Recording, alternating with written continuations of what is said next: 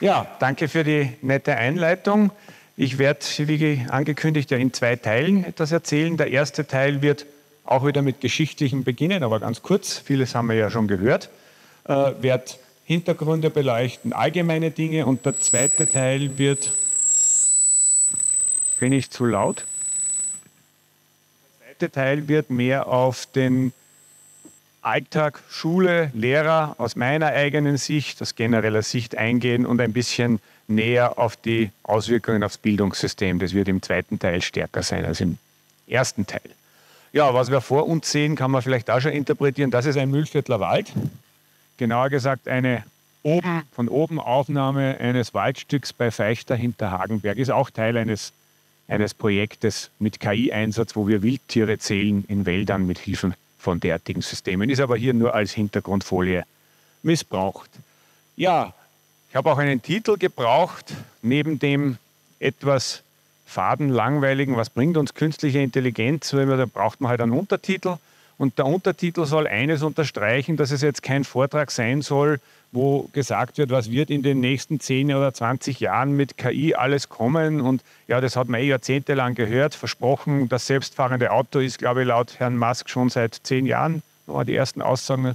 Also es wird sehr viel über die Zukunft fantasiert. Was ich heute machen möchte, ist viel über die Gegenwart reden, am Anfang ein bisschen was über die Vergangenheit und vielleicht die sehr nahe Zukunft. Ja, überzeichnet formuliert die nächsten 20 Minuten. Aber was, was wird uns heuer, nächstes Jahr noch erreichen? In, in diese Zukunft ist es gut möglich, nach vorne zu blicken. Wenn man die momentane Situation von wissenschaftlichen Arbeiten und so betrachtet, kann man diesen kurzen Zeitraum sehr gut voraussehen und ja, kann an manchen Stellen mutmaßen, was heißt das für unseren Alltag. Gut, ich wurde bereits vorgestellt, brauche ich nicht mehr viel dazu sagen. Habe mich jahrelang mit sogenannten Sprachmodellen beschäftigt. Das hat keinen so recht interessiert. Und wenn man wo sich vorgestellt hat, muss man sagen, mit was man sich beschäftigt. Seit ChatGPT ist es ein bisschen anders, weil dann brauche ich immer nur sagen, ich mache sowas wie ChatGPT, dann glaubt man zumindest, dass man Vorstellung hat davon. Das heißt, ich beschäftige mich als Wissenschaftler damit, solche Systeme zu bauen und einzusetzen, bin aber auch selber als Endkonsument oder als Lehrer betroffen von der Technologie. Also kann ich es von verschiedenen Seiten her beleuchten. Und wir werden natürlich heute nicht nur Anwendungen sehen, sondern wie wir meinen Studenten einmal sagen und Sie wahrscheinlich auch bei den Schülern, ist es ganz wichtig, auch die Grundlagen zu lernen. Das heißt, die eine oder andere mathematische Formel kann ich Ihnen nicht ersparen, weil ich auch das Ziel habe, dass Sie ein bisschen den Hintergrund verstehen und nicht nur, wie man es anwendet. Und denke, Sie werden das Ihren Schülern auch immer so beibringen und auch immer auf verschlossene Ohren stoßen und sagen, muss ja die Grundlagen wirklich lernen, wir müssen sie heute auch. Einstieg, ja, das Glücksrad habe ich als Bildmetapher am Beginn gewählt. Wir reden über künstliche Intelligenz, über Hochintelligenz. Man wird wahrscheinlich gar nicht auf die Idee kommen, dass man jetzt die Glücksratsendung, Fernsehen, Vorabendprogramm als hochintellektuelles Bildungsfernsehen sieht. Aber es ist eine Metapher für das, wie künstliche Intelligenz trainiert wird, wodurch eigentlich der Durchbruch geschafft wurde. Und wenn wir den Grundlagenblock vorbei haben, werden Sie verstehen, wieso dieses Bild vorweg ist. In übertragenen Sinne könnte man sagen, wenn man es von Computer auf Kinder übertragen wird, lasst die Kinder möglichst lang Glücksrad schauen, dann werden sie von selber intelligent. Würden wir wahrscheinlich als absurd sehen, aber genauso absurd passiert es, wie künstliche Intelligenz trainiert wird. Kommen wir später darauf zurück. Ja, jetzt kann ich da eingrätschen, was schon in der Einleitung erzählt wurde. Ich habe das mit ELISA rausgegriffen. Erstens, weil es mit dem Gebiet, mit dem ich mich beschäftige und das, was wir jetzt mit ChatGPT erleben, ein direkter naher Vorfahre ist und weil ich auch noch das Vergnügen gehabt habe, den Joseph Weizenbaum in den 80er Jahren an der JKU persönlich zu hören. Und er hat das System ja eigentlich als Karikatur gedacht, um eigentlich zei zu zeigen, wie einfach, es sind ein paar ganz simple Regeln, die kennt man aus jedem Psychologenwitz, ja, das müssen Sie mir nochmal genauer erzählen wie war das früher in ihrer Kindheit und ein paar Stehsätze und ein paar Regeln. Und er war dann sehr überrascht, dass sich Leute stundenlang mit diesem Chatbot unterhalten haben und den eigentlich sehr ernst genommen haben. Das war die eigentliche Überraschung hinter der Technologie. Und ich möchte heute in dem Grundlagenblock auch klarlegen, wie einfach auch in prinzipieller Hinsicht die momentane Technologie ist.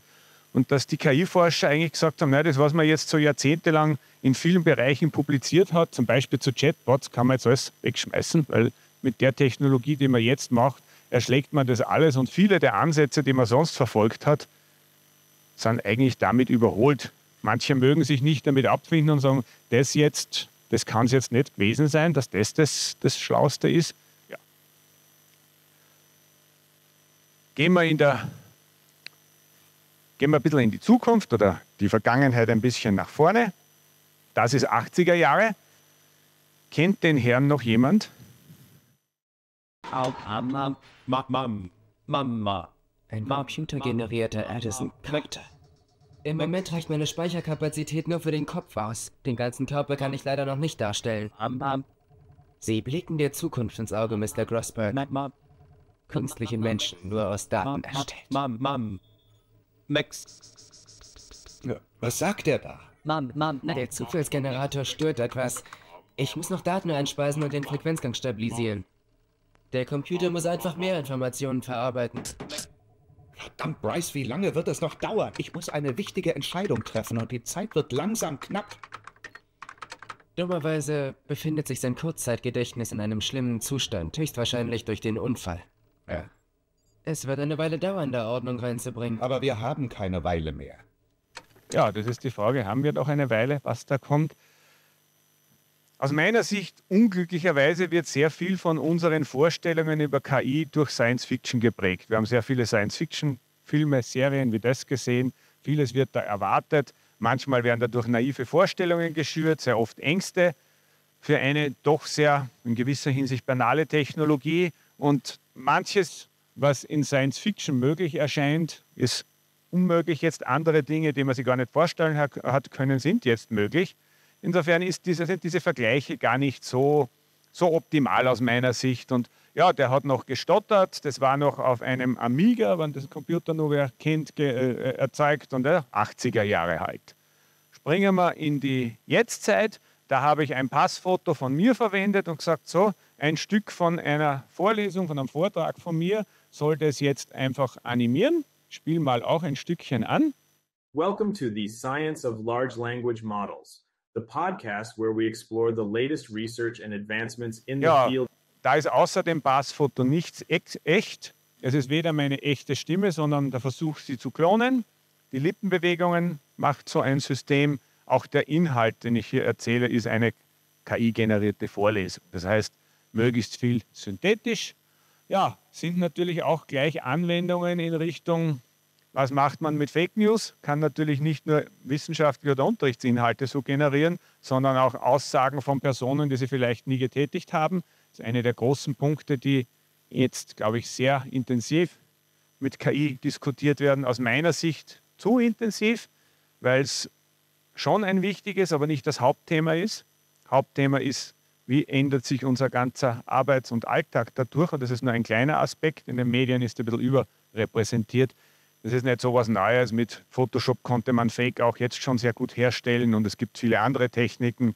Man hat in Social Media schon einiges gesehen. Es ist also nur ein Nebenaspekt von den KI-Dingen. Ja, stellt sich die Frage, sind wir denn überhaupt noch in der Lage, künstlich generierte Inhalte verschiedener Art von, von Menschen erstellten zu unterscheiden? Und da möchte ich gerne ein kleines Selbstexperiment hier herinnen machen wo jeder, der möchte, der ein Smartphone mit hat, daran teilnehmen kann. Es wird ein QR-Code eingeblendet werden. Und mit dem QR-Code werden Sie auf eine Webseite weitergeleitet, wo Sie vier Fragen gestellt bekommen. Und die vier Fragen sind, es wird Ihnen eine Auswahl geboten von Texten oder Bildern. Und es geht darum, dann per Klick zu entscheiden, ist man der Meinung, ist etwas menschlich gemacht, ist es KI gemacht alles, was gezeigt wird, könnte von Menschen oder KI sein. Bei jeder Frage, bei den vier Möglichkeiten könnten alle von KI sein, gar keine. Also alle Möglichkeiten sind dabei. Das nächste, was dabei ist, ist ein, sind zwei Bildanwendungen, auch einmal Illustrationen und einmal Produktfotografie. Und ja, das vierte ging auch noch ein Review auf Amazon. Auch da ist vieles, was nicht unbedingt, was als Produktbesprechung da ist, jetzt menschlich geschrieben. Oder auch hier kommen KI-Dinge zum Einsatz. Und so Dinge habe ich ausgewählt. Und ja, jetzt gebe ich Ihnen ein paar Minuten Zeit, mit Hilfe dieses QR-Codes an dieser Abstimmung teilnehmen und dann werde ich von meinem Laptop das Statistiktool live aufrufen und wir sehen, ja, wie gut können wir hier herinnen das Ganze unterscheiden, welche Dinge vielleicht besser, welche nicht und ja, vergleichen wir dann, wie gut fällt es uns. Und das sind jetzt nicht besonders perfekt gemachte Dinge, die habe ich so für den Eigengebrauch gemacht, kann man alles nur perfektionieren. Das heißt, Frage 1 ist es relativ schwer gefallen, das zu unterscheiden. Das waren die Product Reviews. Ich muss sagen, gemeinerweise habe ich die KI dazu benutzt, möglichst schlecht sprachliche Anzeigen zu schreiben, um sie in die Irre zu führen. Auch das ist natürlich möglich. Also die Intention war, dass man eigentlich hier schlechter liegt, als wie durch Ratnis. Da kommt dann üblicherweise der, der, der Witz, der sagt, wenn wir jetzt in dem Saal ganz eine äh, äh, einen Haufen Schimpansen sitzen hätten, die wären besser gewesen, weil die hätten einfach nur geraten. Das heißt, unsere Vorurteile leiten uns dazu, möglicherweise schlechter zu voten, als wenn wir nur raten würden. Ja, würde einmal mit freien Augen sagen, in Summe ungefähr ausgeglichen, wie wenn wir geraten hätten. Plus, minus die Anzahl. Das kann man ungefähr sagen. Also hier bei der anderen Textgeschichte ist es uns auch nicht möglich, das wirklich zu unterscheiden.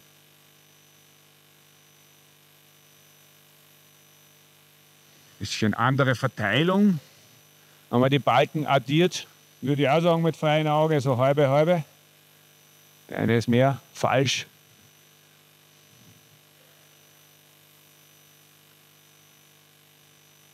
Ja, das ist der einzige, wo man vielleicht signifikant sagen kann, die Produktfotografie ist offensichtlich noch nicht gut genug gemacht. Es ist ja schon ein, ein, zwei Jahre alt, dass ich das gemacht habe. Wenn man das ein bisschen besser macht, immer sicher können Sie es auch nicht mehr kennen. Da haben wir nur eine Chance gehabt, bei dem vierten das Ganze zu erraten. Will das auch nicht zu sehr in die Breite treten. Soll nur demonstrieren, es fällt uns schon bei so einfachen Dingen nicht unbedingt immer leicht, das Ganze zu unterscheiden. Und wenn man heute naiv meint, okay, das kann man, wenn man ein paar Tricks hat, unterscheiden. Bin demnächst zu einem Vortrag eingeladen worden, wo man gesagt hat, okay, ich soll dort einen Vortrag darüber halten, wie man KI-generierte Bilder von echten unterscheiden kann. Das kann ich nur ablehnen. Ich kann maximal einen Vortrag dort halten, um zu erklären, Sie werden es nicht mehr unterscheiden können.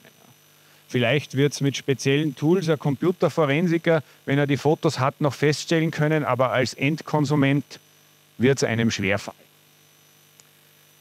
Ja, was heißt die ganze Technologie jetzt? Bevor wir in die Technologie eintauchen und ich versuche, wie sie funktioniert, noch ein paar Worte vorweg schon. Auch einmal geschichtlich angefangen, was wird es für unsere Gesellschaft bedeuten, aber jetzt nicht so die technologische Geschichte aufgerollt, sondern von Seite der Arbeit her betrachtet. Es wird immer erwähnt, wir stehen am Beginn in der industriellen Revolution. Was hat das mit Industrie zu tun? Könnte man meinen, ja, die die, die Roboter, die vielleicht mit KI ausgestattet sind, sind in irgendwelchen Industriebetrieben und machen da was. Das ist eigentlich nicht damit gemeint, sondern der Vergleich setzt an anderer Stelle ein. Gehen wir mal zurück, 18. Jahrhundert, okay. Viele der wiederkehrenden Tätigkeiten im Arbeitsalltag, und das ist der entscheidende Satz, sind dort sowohl in Fabriken als auch im landwirtschaftlichen Bereich durch Maschinen ersetzt worden. Klassische Beispiele sind diese Webstühle, teilweise schon programmierbar, Muster reinmachen zu können, hat entsprechend viel Elend über die Weber, die vorher das noch manuell gemacht haben, gebracht. Gibt es Geschichte entsprechend viel darüber zu berichten. Ich hoffe, wir sind jetzt, wenn in anderen Bereichen wieder eine Revolution kommt, als Gesellschaft besser darauf eingestellt, nicht Leute in Elend zurückzulassen. Das Ganze ist allerdings nicht nur als Risiko zu sehen. Wenn man sagt, es war alles so gut und schön, die landwirtschaftliche Arbeit in der Idylle, das war so viel schöner am Land und dann sind die ganzen bösen Maschinen gekommen.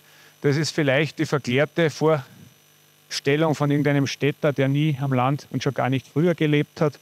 Wenn man meine Großmutter so erzählt hat, wie die Landarbeit wirklich war, dann hat das mit Idylle und war so schön eigentlich nicht wirklich was zu tun. Also man kann das durchaus positiv sehen, dass Maschinen, in dem Fall Landmaschinen oder industrielle Maschinen, die Jobs waren ja nicht wirklich toll, dass die vieles von der manuellen, mechanischen Arbeitskraft in Routinetätigkeiten übernommen haben. Jetzt muss ich langsam die Kurve zur KI wieder schaffen. Ja, was sind jetzt KI-Systeme? Sie werden kognitive Tätigkeiten, Arbeitstätigkeiten, insbesondere kognitive Routinetätigkeiten übernehmen und in der gleichen Art und Weise wie bei den mechanischen Tätigkeiten unseren Arbeits- und damit gesamten Alltag verändern. Und das möchte ich mit einigen Beispielen jetzt in der Folge untermauern und insbesondere dann auch im zweiten Teil, wo ich auf unseren Alltag, meinen als Lehrer im Detail mehr eingehe und zeige, wo an welchen Stellen in meinem Alltag an einem Tag hat denn KI jetzt schon Bedeutung und wo wird sie bald etwas von meinen Routinetätigkeiten übernehmen. Wo fängt das Ganze an? Bei einem ganz banalen Task, den man seit, ja, Ihre Schüler kennen nur noch das, ich bin aufgewachsen ohne Suchmaschine. Man kann sich wahrscheinlich jetzt gar nicht mehr vorstellen, dass man ohne so etwas leben kann. Links haben wir einen Google-Screen, rechts Bing. Die Dinger sind gerade dabei, sich massiv zu verändern. Eine Google-Suchmaschine mit zehn blauen Links, wie wir sie jetzt zwei Jahrzehnte gesehen haben, wird der Vergangenheit angehören in der Form. Google ist massiv unter Druck, die haben intern Panik. Werden 30.000 Leute, glaube ich, entlassen werden heuer. Google, die haben massive Probleme mit ihrem ganzen Geschäftsmodell und da steckt die Technologie dahinter. Microsoft treibt hier genau in diese Richtung. Was ist hier so anders? Eine Suchmaschine sind wir gewöhnt. Wir geben irgendwelche Schlüsselwörter ein und die Suchmaschine findet nach einem Algorithmus zupassende Seiten und listet sie uns in einer Sortierung auf und wir versuchen dann aus diesen Dokumenten die Frage, die wir eigentlich dahinter haben oder die Recherche zu beantworten. Das ist Old Style. Jetzt werden Suchmaschinen und es gibt schon Alternativen zu Google und Bing, die das schon vollständig machen. Die erobern gerade den Markt. Die beantworten einfach die Frage und wenn sie gut sind, auch korrekt, sind Gefahren, kommen später noch Beispiele. Und wenn sie gut sind, geben sie auch die entsprechenden Referenzen, auf denen sie diese Antwort stützen. Die kommen dann als Referenzen angeführt und ich habe nicht mehr die Notwendigkeit, eine klassische Google-Suche so zu machen wie bisher. Wieso ist das für Google so tragisch? Für Google ist es so tragisch, ich glaube, zwei Drittel der Einnahmen von Google kommen immer noch, obwohl der ganze Konzern inzwischen sehr divers ist, aus den Suchanzeigen, die sie zwischen den Suchtreffern schalten. Wenn Sie keine Suchtreffer mehr haben, weil Sie keine Listen mehr antworten, haben Sie auch keine Suchanzeigen dort drinnen. So einfach ist das. Wieso stört das Microsoft nicht und haben Freude damit? Die haben an diesem Markt, glaube ich, ein Prozent oder irgendetwas mit Bing. Die verdienen da nicht wirklich Geld. Denen macht es Spaß, Google zu ärgern, weil die verdienen ihr Geld mit der Business-Software und Office und so weiter. Das ist so der Wettkampf, den wir da erleben. Und da sehen wir jetzt, dass schon bei einer simplen Google-Suche, oder ist es dann vielleicht bald keine Google-Suche mehr, sondern andere Tools, es gibt so Firmen wie Perplexity AI, so eine Suchmaschine, die gerade in den USA rauspumpt, die das schon in sehr guter Art und Weise machen und die Datensammlungen mit dieser Technologie, insbesondere diese Sprachmodelle, diese Form von KI verwenden. Und das hat schon Einfluss auf unseren täglichen Alltag und ich würde sagen, es erleichtert es unter Umständen schon ein wenig. Ich habe jetzt wahllos ein paar kleine Auszüge aus Tätigkeiten genommen, die Routine sind. Wenn Sie auf Amazon einen Shop betreiben, können Sie auf diesem Marktplatz auch, Sie sagen, ich habe einen Nebenjob, ich verkaufe irgendwie spezielle Designer-Klobürsten oder was auch immer, irgendein Segment dann können Sie dort einen Shop aufmachen und über die Plattform handeln. Und eine der, oder es gibt zwei Tätigkeiten, die zeitraubend sind. Die eine ist, die ganzen Bestellungen abzuarbeiten. Das macht man gern, falls man sie erreicht. Und die andere ist, die ganzen Produktdaten einzupflegen, die Produkte zu beschreiben. Und das ist ein furchtbarer Routine-Task, wenn man das nicht mit drei Produkten machen muss, sondern vielleicht mit 3000 oder mit drei Millionen wie große Online-Shops.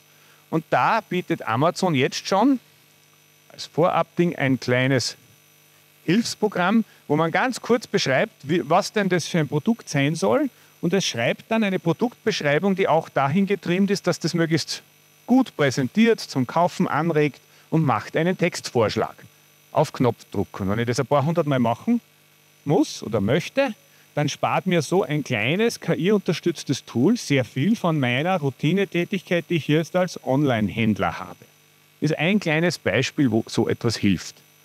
Ja, Beispiel aus unserer eigenen Hochschule. Wir haben übermorgen den Tag der offenen Tür. Also wer uns gerne besuchen möchte, gern eingeladen. Wir präsentieren eine Menge unserer Projekte mit Studierenden. Und wenn wir überlegen, wir müssen natürlich trotzdem Werbung machen, Leute kommen nicht von alleine. Das war ein Beispiel zu sagen, liebes Tool, in dem Fall einfach ChatGPT und zwar hier in einer eigenen Variante. Wir haben ein FHGPT, das wir selber auch betreiben und das datenschutzkonform ist in Europa, damit das auch wirklich benutzt werden kann, ohne hier in rechtliche Probleme zu kommen.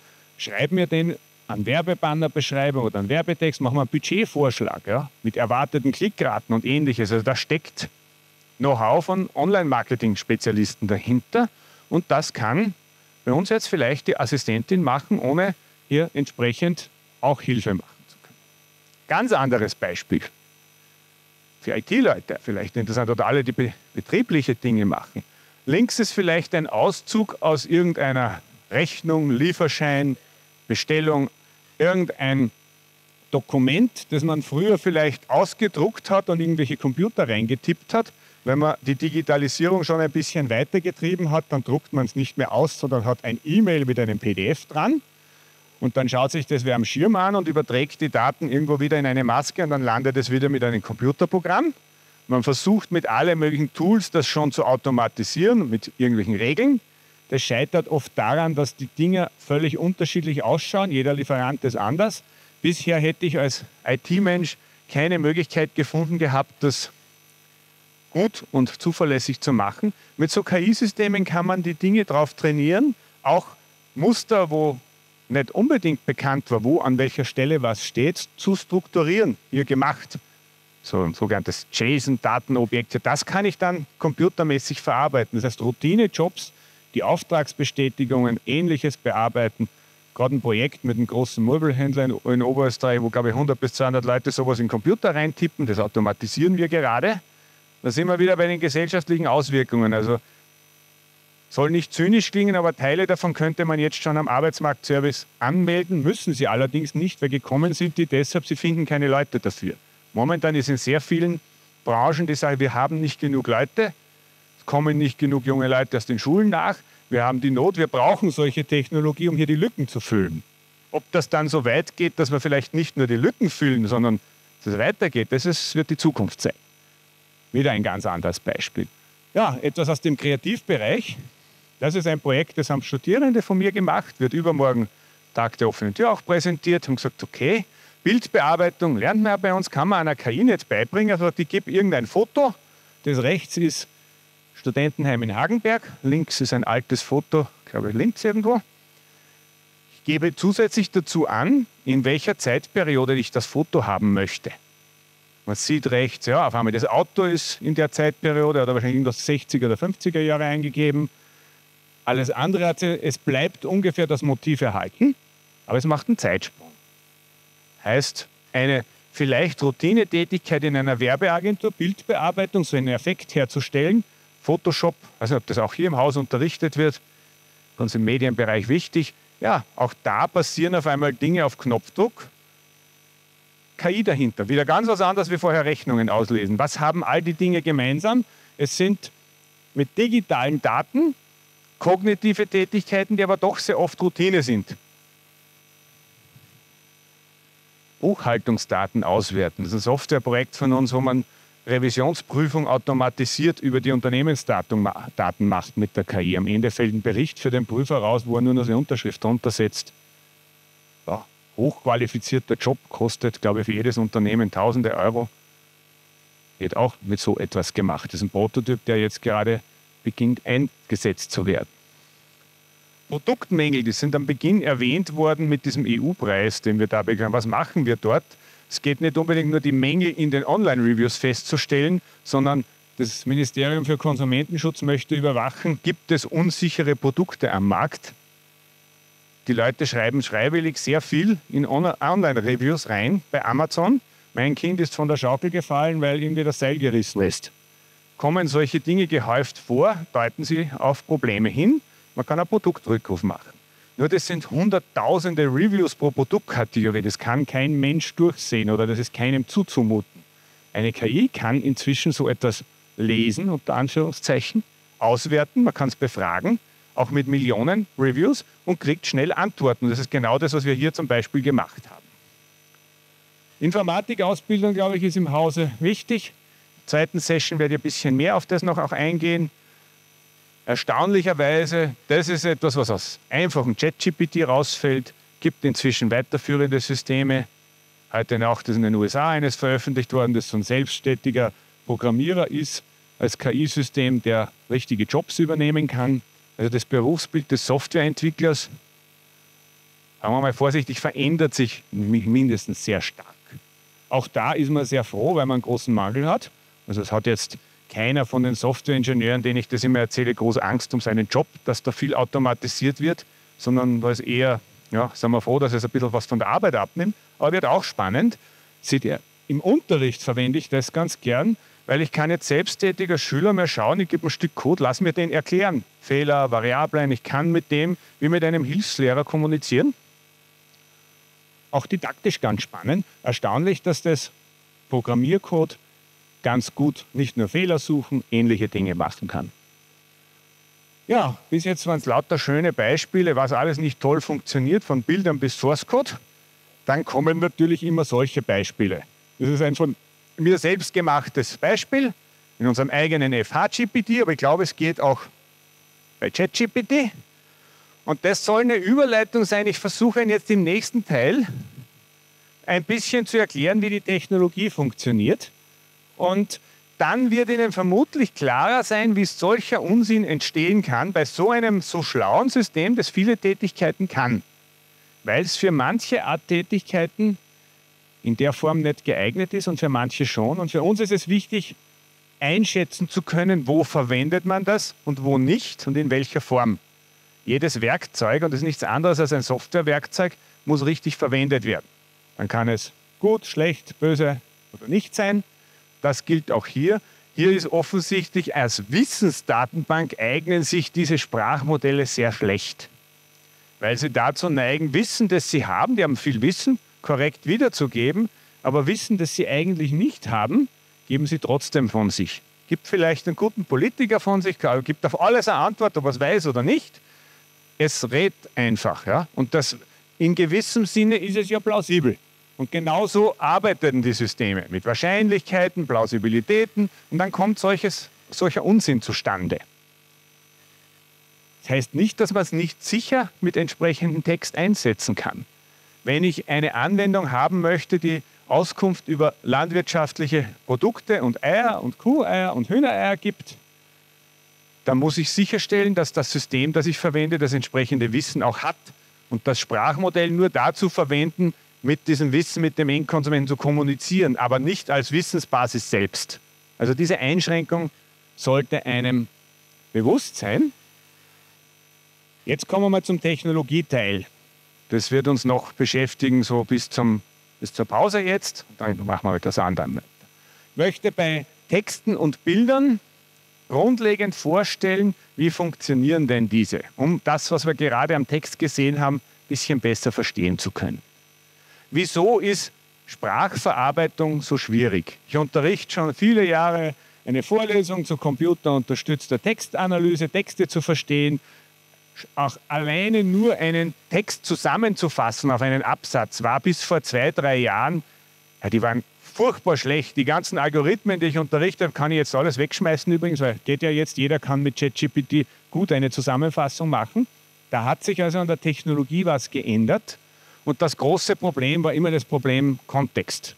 Ein und dasselbe Wort hat im anderen Kontext ganz eine andere Bedeutung.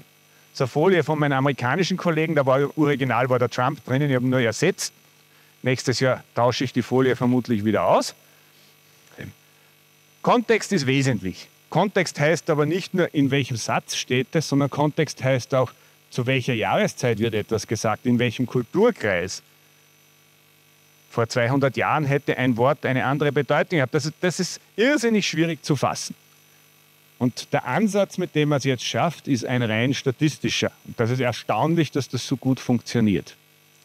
So, jetzt kommt der Kern, wie arbeitet denn, stellen wir uns ChatGPT vor, aber andere Systeme, die ähnlich sind, sind der Vergleich dazu. ChatGPT ist ja kein Produkt, sondern ist ja nur eine Teststellung, die ins Internet gestellt wird, um zu, geworden ist, um zu sehen, wie gut die Technologie funktioniert. Und Sie sind alle Teil dieses Experiments, wenn Sie dort reinschreiben und helfen, das System besser zu machen. Wie arbeitet so ein System? Kriege irgendeinen Text, das habe ich von irgendeiner Webseite, so Produktinformation von einer beliebigen Webseite, also geht nicht darum, was da ist, sollte, ist Werdam in der Blindtext. Diese Texte werden in Teile zerhackt, sie mit roten Strichen eingezeichnet. Man könnte das wortweise machen, buchstabenweise. Das Effektivste ist jetzt so Wortteile. Gibt es Algorithmen dazu, wie man das möglichst effektiv in Teile zerlegen kann, sodass das gut verarbeitbar ist kann ich mehrere Stunden Vorlesungen dazu halten, mache das auch wieder im Herbst. Dann gibt es eine große Tabelle, wo für jeden Wortteil eine natürliche Zahl reingeschrieben wird. Was bedeutet, welcher, was ist welcher Wortteil? Kann sofort wieder zurückschalten. Habe ja diese Tabelle. Das heißt Zahlen. Wieso brauchen wir Zahlen? Wir wollen es mit einem Computer verarbeiten. Wir brauchen eine Formel, wir wollen rechnen damit. Deshalb diese Übersetzung. Als Mensch verstehen wir es jetzt nicht mehr. Der Computer versteht es aber sowieso nicht, das ist egal, ob das so oder so ist. Was macht diese, das Verfahren, dieser Algorithmus? Es versucht, die nächste Zahl zu schreiben. Einen Satz weiterzuschreiben, ChatGPT ist die nächste Zahl zu finden. Da geht es jetzt um Statistik, Mustererkennung. Was kommt als nächste Zahl? Ich kann ja das sofort dann wieder in Text übersetzen. Also was braucht man? So mit mir einen Mathematiker eingeladen, also auch mathematische Formeln irgendeine mathematische Formel, das ist nur das Kästchen, die wir noch nicht hingeschrieben, die ist sehr schwierig, die als Input einen Haufen Zahlen kriegen und ein Haufen meint nicht nur die drei Zahlen, die davor waren und nicht nur die 30, die da sind, sondern bei einem jetzt gängigen System hunderttausende Zahlen, die vor der Zahl sind, haben alle einen Einfluss, was an nächste Zahl kommt. Damit wurde das Problem des Kontexts gelöst. Mit dem Holzhammer. Das ist richtig viel. Das ist ein ganzes Buch. Es hat alles einen Einfluss auf das nächste. Mit diesem simplen, gigantischen Zahlentrick ist man weitergekommen. Jetzt bleibt aber nur die Frage, wie finde ich jetzt mit diesen vielen Zahlen diese komplizierte Formel? Als ja, Oberstufenaufgabe taugt das sicher nicht. Mathematiker können es auch nicht finden, aber Mathematiker wissen eines, wenn sie so eine Aufgabenstellung haben, komplizierte Formel, die eigentlich unmöglich ist zu finden, dann muss man es approximieren, also annähern. Und es hat sich in den letzten Jahren ein Verfahren durchgesetzt, mit dem man alle Funktionen, die man haben möchte, versucht anzunähern. Wenn von neuronalen Netzen gesprochen wird, ist immer der Vergleich mit Hirn und Hirnzellen und das ist, das ist extrem weit hergeholt. Mit Hirnzellen und richtigen Hirn haben die Dinge relativ wenig zu tun. Außer einer groben Analogie, dass es eine netzwerkartige Struktur hat, hat es gar nichts zu tun. So ein neuronales Netz, mit dem also wenn man Journalisten fragt, was ist ein neuronales Netz, das ist sowas, das funktioniert so ähnlich wie das Hirn. Das funktioniert nicht so. Das sind einfach Zahlen, die nach einem gewissen Schema summiert, multipliziert werden, ein paar andere Kleinigkeiten noch. Das heißt, im Wesentlichen tut es Rechnen, Grundrechenarten in gigantischer Menge. Und es gibt ein mathematisches Theorem, das sagt, wenn man die Architektur von diesen Dingen richtig baut, da wird von Schichten gesprochen, das ist Deep Learning, das sind einfach viele solche Abfolgen von diesen Berechnungen hintereinander. Dann kann man jede beliebige Funktion so genau wie man sie möchte approximieren. Grundsätzliche Einsicht ist wie immer in der Mathematik ein tolles Theorem, hilft einem in der Praxis relativ wenig. Klassische Antwort, wenn man Mathematiker fragt, kriegt man zwar eine Antwort, die korrekt ist, aber sie hilft einem nicht weiter. Auch hier so. Das heißt, man braucht eine weitere Idee, wie kann ich diese Funktion jetzt auf intelligente Art und Weise, ich darf alle Mathematiker beleidigen, weil ich bin selber einer, also von dem her, gibt es ja immer diesen, diesen Witz, Müllviertler-Witz, so, von wo haben es gewusst, dass Mathematiker ist, ja, weil die Antwort war richtig, aber das hat man nicht weiter gewusst. So, wir müssen jetzt diese Zahlen, die da multipliziert werden, diese Ws, das sind diese sogenannten Parameter, wo wir am Beginn gehört haben, von diesen Milliarden. Das heißt, diese Zahlen bestimmen, wie das funktioniert. Wenn ich die gefunden habe und dann multipliziere, habe ich alles. Und wenn es heißt, Sie haben ChatGPT, hat sich wer runtergeladen, hat er sich eine riesige Datei mit diesen Zahlen runtergeladen. Nichts weiteres. Gar nichts weiteres. Diese Zahlen intelligent zu finden, ist die gesamte Aufgabe, die wir jetzt noch bis zur Pause lösen müssen. Und ich werde circa fünf Minuten, schätze ich, überziehen. Aber ich glaube, das haben meine Vorredner vielleicht schon überzogen. Dann bin ich die schuld. Diese Gewichte nennt man es auch, diese Zahlen zu finden. Ist es möglich, solche Zahlen zu finden, die eine komplette Geschichte schreiben können, aber auch die anderen Dinge, die ich teilweise hergezeigt habe? Das GPT-3 haben wir auch heute schon gehört, waren 175 Milliarden solcher Zahlen. Das war 2020. Da haben wir an Forschungsprojekten begonnen, mit sowas zu arbeiten. Da haben wir gesagt, jetzt funktioniert es richtig. Vorher war es eine Spielerei. Also das war der entsprechende Umbruch. In der Öffentlichkeit war er dann zwei Jahre später mit ChatGPT. Da hat man bemerkt, diese Technologie, da haben die Firmen auch mitbekommen, wie OpenAI. Jetzt machen wir die Dinge einfach immer nur größer. Das ist das, was momentan passiert. Dieser Wettrennen mit viel Geld, viel Energie, diese Ideen, die, die noch kommt, größer zu machen und auf einmal werden die Dinge intelligenter. Man macht gar nichts mehr anderes. Also die dann weiterhin nur die nächste Zahl raten. Viele Zahlen, ja, die 175 Milliarden, da ist man nicht stehen geblieben. Inzwischen weiß man nicht mehr, was OpenAI beim Vierermodell, die sagen nicht einmal mehr, wie viele Zahlen, weil bis dorthin ist es publizieren worden, bis dorthin war es Wissenschaft, jetzt ist es Geld verdienen.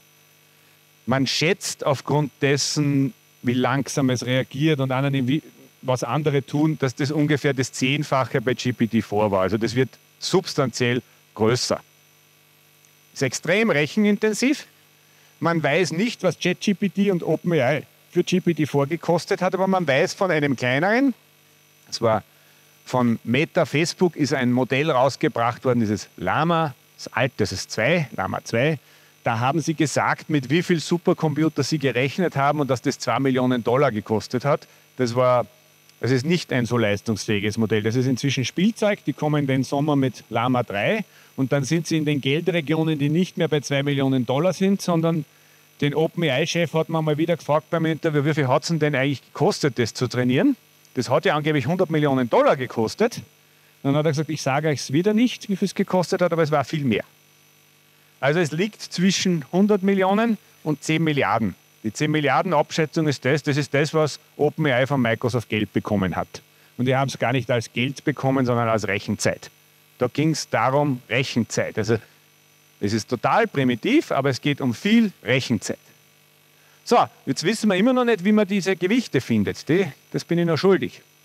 Experten können das nicht. Ich kann nicht Experten hinsetzen und sagen, was wird das für Formel sein, sondern es wird mit Daten gesagt trainiert. Was das präzise heißt, wird jetzt auf der nächsten Folie sein. Das nennt man auch maschinelles Lernen. Das heißt, das System zieht aus den Daten in einem gewissen Sinn die Regeln raus, um den Task zu erledigen. Ohne dass man es, schon gehört, richtig versteht, wieso es das kann, dieses Blackbox. So, jetzt sind wir bei dem. Was macht ein System wie ChatGPT, wenn es trainiert wird? Es spielt Wörterraten. Jetzt meine Erinnerung am Beginn des Vortrags, das war zwar nicht Marin Gilzer, sondern das war in den 80er Jahren, äh, sondern das war das neue Glücksrad, glaube ich. Wir tun Wörter- und Buchstabenraten spielen. Wertteile raten man eigentlich jetzt. Ja. Wie, kann jemand raten, was die roten Punkte möglicherweise für ein Wort sein können? Meine Erwartungshaltung ist nein. Ich habe aber schon Vorträge gehalten, wo dann wer aufgezeigt hat, wenn jemand Bulgarisch kann, dann könnte er es mir sagen extra nicht Russisch genommen. Ja, wir können es nicht raten, weil wir die Sprache nicht verstehen. Und genau so geht es einem KI-System am Beginn. Das kann nur zufällig irgendwelche Buchstaben reinschreiben und nichts Sinnvolles. Das macht es auch. Dann kriegt es eine Rückmeldung. Rückmeldung heißt, die Zahlen werden verändert, ein klein bisschen. Die Mathematiker sagen, das ist Newton-Verfahren, nicht ganz Newton-Verfahren, was einfacheres davon. Zahlen werden verändert und dann lernt, dann kriegt es immer wieder Stücke von Texte und muss das nächste Wort raten. Und das ist alles, was im Training gemacht wird auf Supercomputern mit sehr viel Text. Ja, wenn ich es auf Deutsch mache, haben wir sofort eine Vorstellung im Kopf, nicht unbedingt vielleicht ein Wort, aber mehrere. Wahrscheinlichkeiten werden hier gemacht. Das ist nicht immer ein Wort, aber jedes Wort hat eine gewisse Wahrscheinlichkeit, da reinzupassen. Das System lernt diese Wahrscheinlichkeit. Und da sind wir bei den Q-Eiern wenn du das nicht weißt, dann nimmst du das nächstwahrscheinliche, was halt nach was klingt. Genauso ist das System gebaut. Also es ist kein Fehler dieser Systeme, der man beseitigen muss, dass sie sogenanntes Halluzinieren, sondern die werden das immer tun, die sind so gebaut. Das ist, das ist kein Bug, das ist, die sind so. Ja, wäre eine Möglichkeit, wo ich sagen würde als Mensch. Und ein, so ein System wird immer besser, wenn es immer besser ist, das Ratespiel richtig zu machen. Das macht man monatelang auf Supercomputer mit vielen Daten. Viele Daten, was steckt drin? Das gesamte Internet, das man irgendwie kann, runterladen. Da kommen dann so Rechtsstreitigkeiten wie mit der New York Times raus. Inzwischen passen die extrem auf, an die neue Systeme trainieren, dass sie nur Dinge, wo sie die Copyrights haben, auch trainieren. Die kaufen an jeder Ecke bei allen Publishern zu, was sie an Daten kriegen, freie Bücher, irgendwelche Chats, äh, alles, was man, Programmiercode, Artikel, die man hat, alles, was Textinformation von der Welt ist. Man kann sich so vorstellen, da steckt dann sehr viel drinnen. Diese KI-Systeme haben keine Verbindung zur Welt. Die können nicht fühlen, die können nicht sehen. Das heißt, die kriegen eigentlich nicht wie ein Kind mit, aus Interaktion mit der Umgebung etwas zu lernen, sondern nur aus diesen Daten. Habe immer das Bild ganz gern, die lernen nicht aus der realen Welt, sondern aus den Schatten, die die reale Welt digital wirft. Das sind so diese Schatten ist ein Abbild der Welt, da steht viel drinnen. Aus dem raus lernen die Systeme.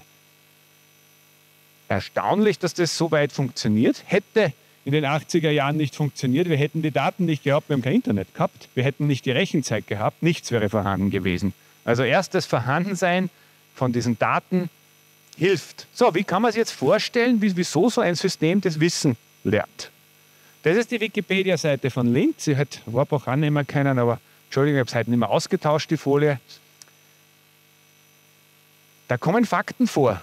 Es, es lernt Wörterraten zu spielen. Um das Wörterratenspiel auch bei dieser Seite richtig lösen zu können, wird ganz automatisch, aber man weiß nicht wo, in diesen Zahlen drinnen die Information gespeichert und da wird gar nicht die einzelne Zahl gespeichert, sondern es ist irgendwie verteilt. Um das richtig lösen zu können. Und damit weiß es etwas über Linz weiß. Es kann die Zahlen so richtig, wenn Sie etwas danach fragen, hinschreiben, die Wahrscheinlichkeiten, dass das, was es hinschreibt, die Frage beantwortet. So einfach ist es. Damit das Ganze auch im Frage-Antwort-Modus geht, wie man es bei ChatGPT kennt, wurde das nicht nur auf so Faktenseiten trainiert, sondern an Dialogen. Da hat man hunderttausende Dialoge gefüttert, dann hat es gelernt, nicht gelernt, es hat das Muster nachgeahmt, den ein Dialog hat. Das ist ein statistisches Ding, das Muster nachahmt. Und als allerletztes wird dann noch etwas gemacht, jetzt sehr häufig in der Diskussion, man möchte diese Systeme dazu bringen, dass sie auch so antworten, wie wir das möchten, erwarten. Wenn man nämlich ein System, wo dieser Schritt nicht gemacht wurde, fragt, wie man einen Molotow-Cocktail herstellt, dann schreibt es das hin, weil das hat es irgendwo im Internet gelesen. Das will man nicht, oder? Gibt es eine Diskussion in der Wissenschaft? Ist das jetzt Zensur oder ist das Verhindern von Unsinn? Und das wird so gemacht, indem man irgendeinen Satz schreibt, könnte stehen, wie macht man einen Molotow-Cocktail und dann gibt es mehrere mögliche Fortsetzungen und ein Mensch klickt drauf und sagt, das Mensch, ich möchte das, das ist das Bessere aus meiner Sicht. Wenn Molotow-Cocktail steht dort, das sage ich dir nicht, das ist unmoralisch. So wird dem System dann menschliche Wertvorstellungen in dem Sinne beigebracht, dass es wahrscheinlicher etwas nimmt, das wir gut geratet haben. Und da ist natürlich jetzt der Sport, wie kann ich das wieder unterlaufen und umgehen? Das ist sogenannte Jailbreaks. Ich glaube, habe hab jetzt noch was oder Nachmittag dazu drinnen. Das ist die wissenschaftliche Arbeit, die ich schon mal erwähnt habe, 2020 von den OpenAI-Leuten. Das war bahnbrechend, wirklich bahnbrechend dafür. Nicht zu Unrecht, dass die jetzt zuständig in den Medien sind. Bilder, Bilder bin ich in ein paar Sachen schuldig. Wie macht das denn Bilder? Das kann ja mit Bildern so nicht funktionieren. Aber jetzt immer Texte fortgesetzt. Bilder macht man ein bisschen anders, aber es ist auch sehr, ist auch von denselben Ideen eingeleitet, auch sehr primitiv. Das sind zehn Fußbälle, wo die Luft ausgeht, habe ich erzeugt mit irgendeinem Algorithmus, das aus einer wissenschaftlichen Arbeit von mir. Was da auffällt, ist, die schauen sehr unterschiedlich aus, oder? Jedes Mal generieren kommt ein anderer, selber Algorithmus. Das heißt, das ist in gewissem Sinne kreativ, aber trotzdem ist alles irgendwie ein Fußball. Das heißt, das Konzept Fußball wird wiedergegeben, mit einer ziemlichen Bandbreite. Das finde ich faszinierend. Und sieht man, ich habe dann nachher weitere Beispiele auch noch. So, eine Folie, wie das gemacht wird. Diese Fotos, Da werden Milliarden Fotos aus dem Internet runtergeladen. Das ist wieder Copyright-Thema, sind wieder einige Prozesse. Die, die ersten waren so, da haben sie es wirklich einfach überall runtergeladen. Inzwischen nimmt man nur Copyright-erlaubtes Material. Hat einen Text dazu, in dem man aus dem Internet Dinge laut, wo der Text drunter steht, was man dort sieht. Das heißt, das System lernt zwischen dem Text, den Zahlen des Textes und den Zahlen des Pixelbildes eine statistische Korrelation. Dann beginnt man schrittweise das Ganze zu verrauschen. Am Ende hat man ein Rauschbild. Ganz Unsinn. Jetzt habe ich das Foto zerstört. Und jetzt trainiert man das System, diesen Prozess umzukehren. Das sind Wahrscheinlichkeiten diese Übergangswahrscheinlichkeiten umzukehren, das bringt man dem System bei. Und wenn Sie heute ein Foto erzeugen, geben Sie dem ein Rauschen plus einen Text, was Sie sehen wollen, und dann hat er das gelernt und macht genauso ein Foto. Das ist das, was diese Bildgeneratoren wie Midjourney im Prinzip machen. Auch in zwei Minuten erklärt. Und das Grundprinzip, ja, es funktioniert durch die schiere Menge an Daten und Rechenzeit. Ich habe Beispiele, wo ich noch was, ja, Kloster, das ich generiert habe, hier Insekten. Ich habe mal untersucht, welche Konzepte der Welt versteht so ein System und welches nicht viel, nicht alles, ganz spannendes Tätigkeitsfeld. Jetzt kann man das Ganze kombinieren. Wer eine Bezahlversion von ChatGPT hat, kann diese Systeme kombinieren, kann auch daraus Bilder erzeugen. Der Freiversion glaube ich noch nicht. Das sind einfach diese beiden Ideen kombiniert. Das, ja, auch heute am Beginn bei der Einleitung schon erwähnt. Jetzt kann man Bilder auch in solche Systeme, seit GPT-4 versteht es nicht nur Text, sondern auch Bilder, also Input gemischt mit Text. Das ist ein Foto von einer Skizze einer Webseite, die gemacht wurde. Und am anderen Fall kommt eine Webseite aus in, in, in Form von Source Code. Die funktioniert sogar, die Witze-Seite. Das ist so das Beispiel aus der Pressekonferenz Selber so Beispiel, aber funktioniert. Das heißt, ich kann eine Skizze, ein Bild, Beschreibung, Text dazu reingeben, macht man den Code. Heißt es für das Berufsbild meiner Studenten, die gerade beginnen, im ersten und zweiten Semester HTML, CSS und JavaScript zu lernen, heißt das etwas. Ich weiß nicht genau, wenn die in drei, vier Jahren in den Job kommen, welche von den Fertigkeiten in welchem Umfang sie noch benötigen werden. Ich nehme einmal an, es wird nicht alles wegfallen und es macht alles automatisch was. Aber wenn man anschaut, wie die Systeme besser werden, naja, ganz so zu Fuß CSS-Codes zu machen, wie wir jetzt machen, glaube ich auch nicht, dass das noch machen werden. Also das Berufsbild und damit unser Unterricht wird sich ändern. Ich glaube, das mache ich ganz kurz und überspringe, sonst überziehe ich heillos. Das ist das angesprochene Konzept eines modernen Computers mit John van Neumann wird durch diese Art überholt. Wir haben neue Art von äh, Recheneinheiten. Das sind diese Sprachmodelle, ja, verschiedene Eingabemöglichkeiten. Also wir haben eine neue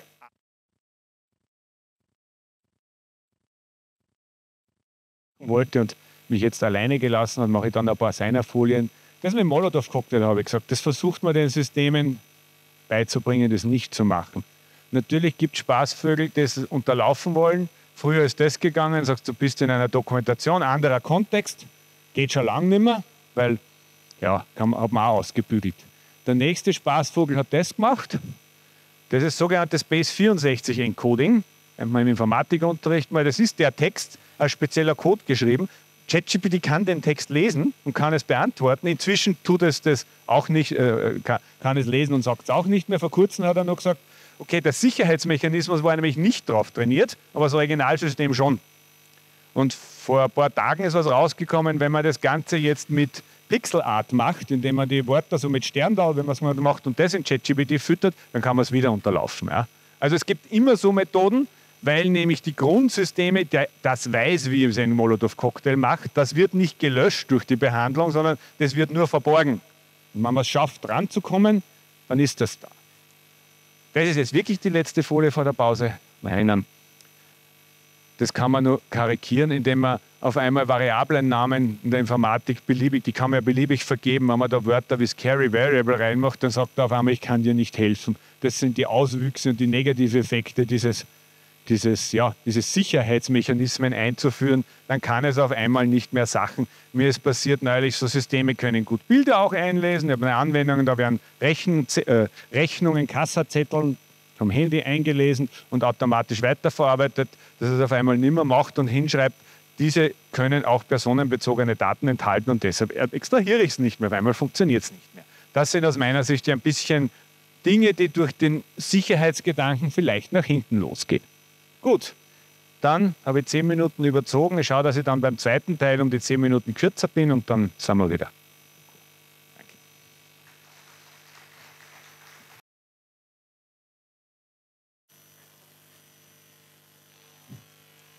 Ich habe versucht, jetzt mal einen Arbeitstag von mir als FH-Lehrer zu skizzieren und immer aufzuwerfen, wo an welchen Stellen da vielleicht KI und irgendeine Möglichkeit ins Spiel gekommen ist und wo es meinen Arbeitsalltag beeinflusst hat oder auch in naher Zukunft beeinflussen wird. Also ist ein bisschen verkürzt dargestellt, ein bisschen komprimiert, schon ein kleines, ein paar Minuten in die Zukunft sozusagen, aber nicht sehr weit von meinem jetzigen Alltag weg und das an einigen Beispielen illustriert.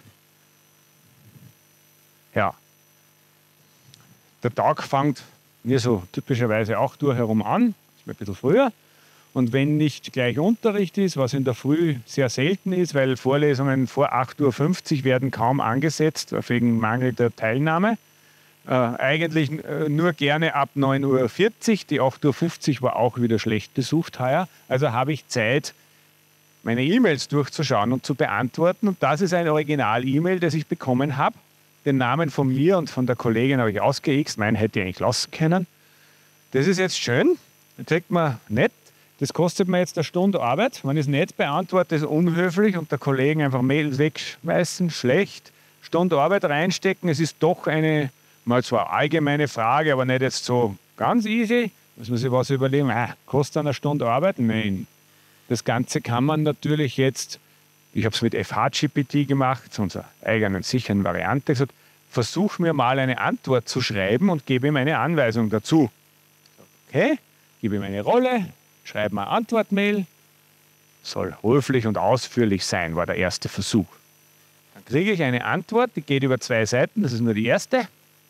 Und wenn man sich die durchliest, und das durchgelesen und gesagt, naja, das hätte ich genau so geschrieben. Nur den allerletzten Satz habe ich gelöscht. Der Rest war eins eins das, was ich geschrieben hätte. Ja? Das habe ich zurückgeschickt, ja.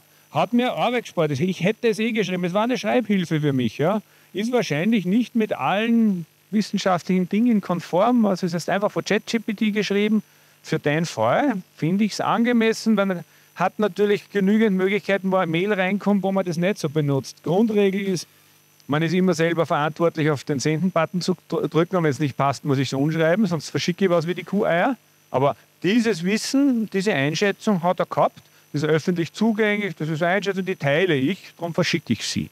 Hat mir, ja, hat mir, ein, hat mir eine Stunde Arbeit gespart.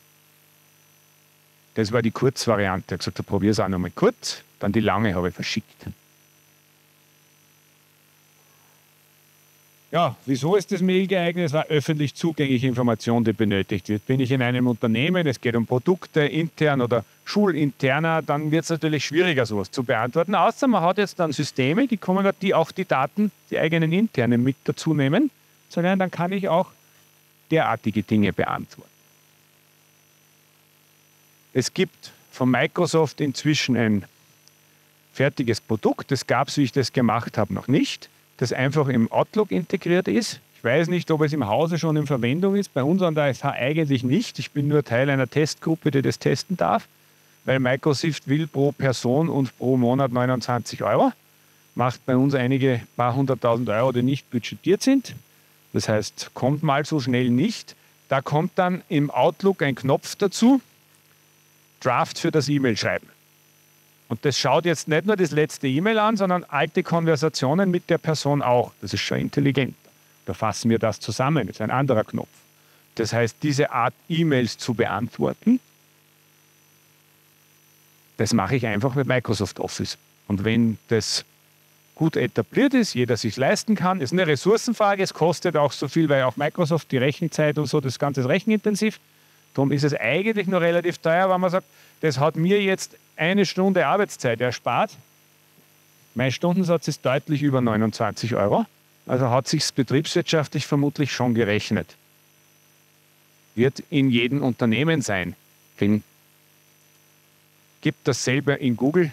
Google hat für ihr, das Google Workspace, ihr Office, Online-Office, bauen die genauso einen Knopf, auch gerade in den USA schon verfügbar. Hier habe ich es, glaube ich, noch nicht. Kommt sowas rein? Ja, E-Mails beantworten, vorschreiben.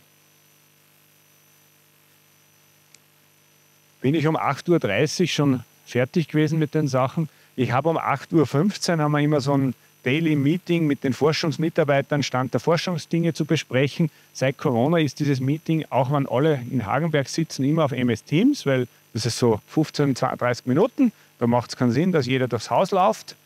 Wird immer gemacht. Jetzt komme ich aber eine Viertelstunde zu spät. Kommt öfter vor. Das neue MS Teams, auch dieser Microsoft Office Copilot, den ich vorher angesprochen habe, hat einen Knopf. Wenn man den aktiviert, Sprich, wenn man bei dem Meeting es zulässt, das ist eine Frage, ob man das will, dann transkribiert das im Hintergrund den Inhalt mit. Und wenn jemand zu spät einsteigt, sage ich bitte, was war in der ersten 15 Minuten los, in fünf Punkten zusammengefasst. Und ich bin wieder am Stand. Und am Ende kann ich sagen, schreib mir bitte ein Protokoll davon. Funktioniert.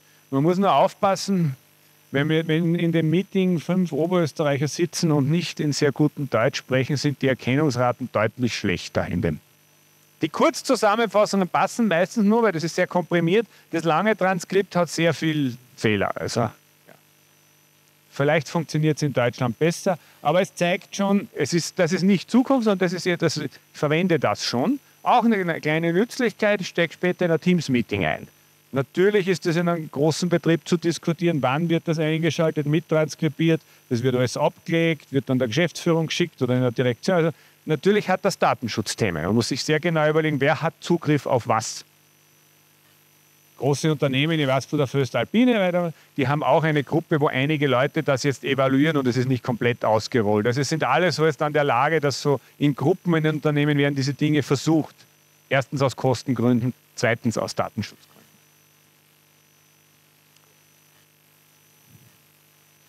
Ja, das sind so kognitive Routine-Tätigkeiten, die lästig sind. Ja, wieso soll man das nicht irgendwie sich von der KI abnehmen lassen? So, man geht ja in der Landwirtschaft nicht mehr mit der Sensen herum, sondern fährt mit dem Traktor. Also würde dem im Grunde positiv gegenüberstehen. So, ich habe da nach Island fliegen müssen, wie ich das gemacht habe. Gerade das war dieser EU-Sicherheitspreis, da war eine Konferenz in Island.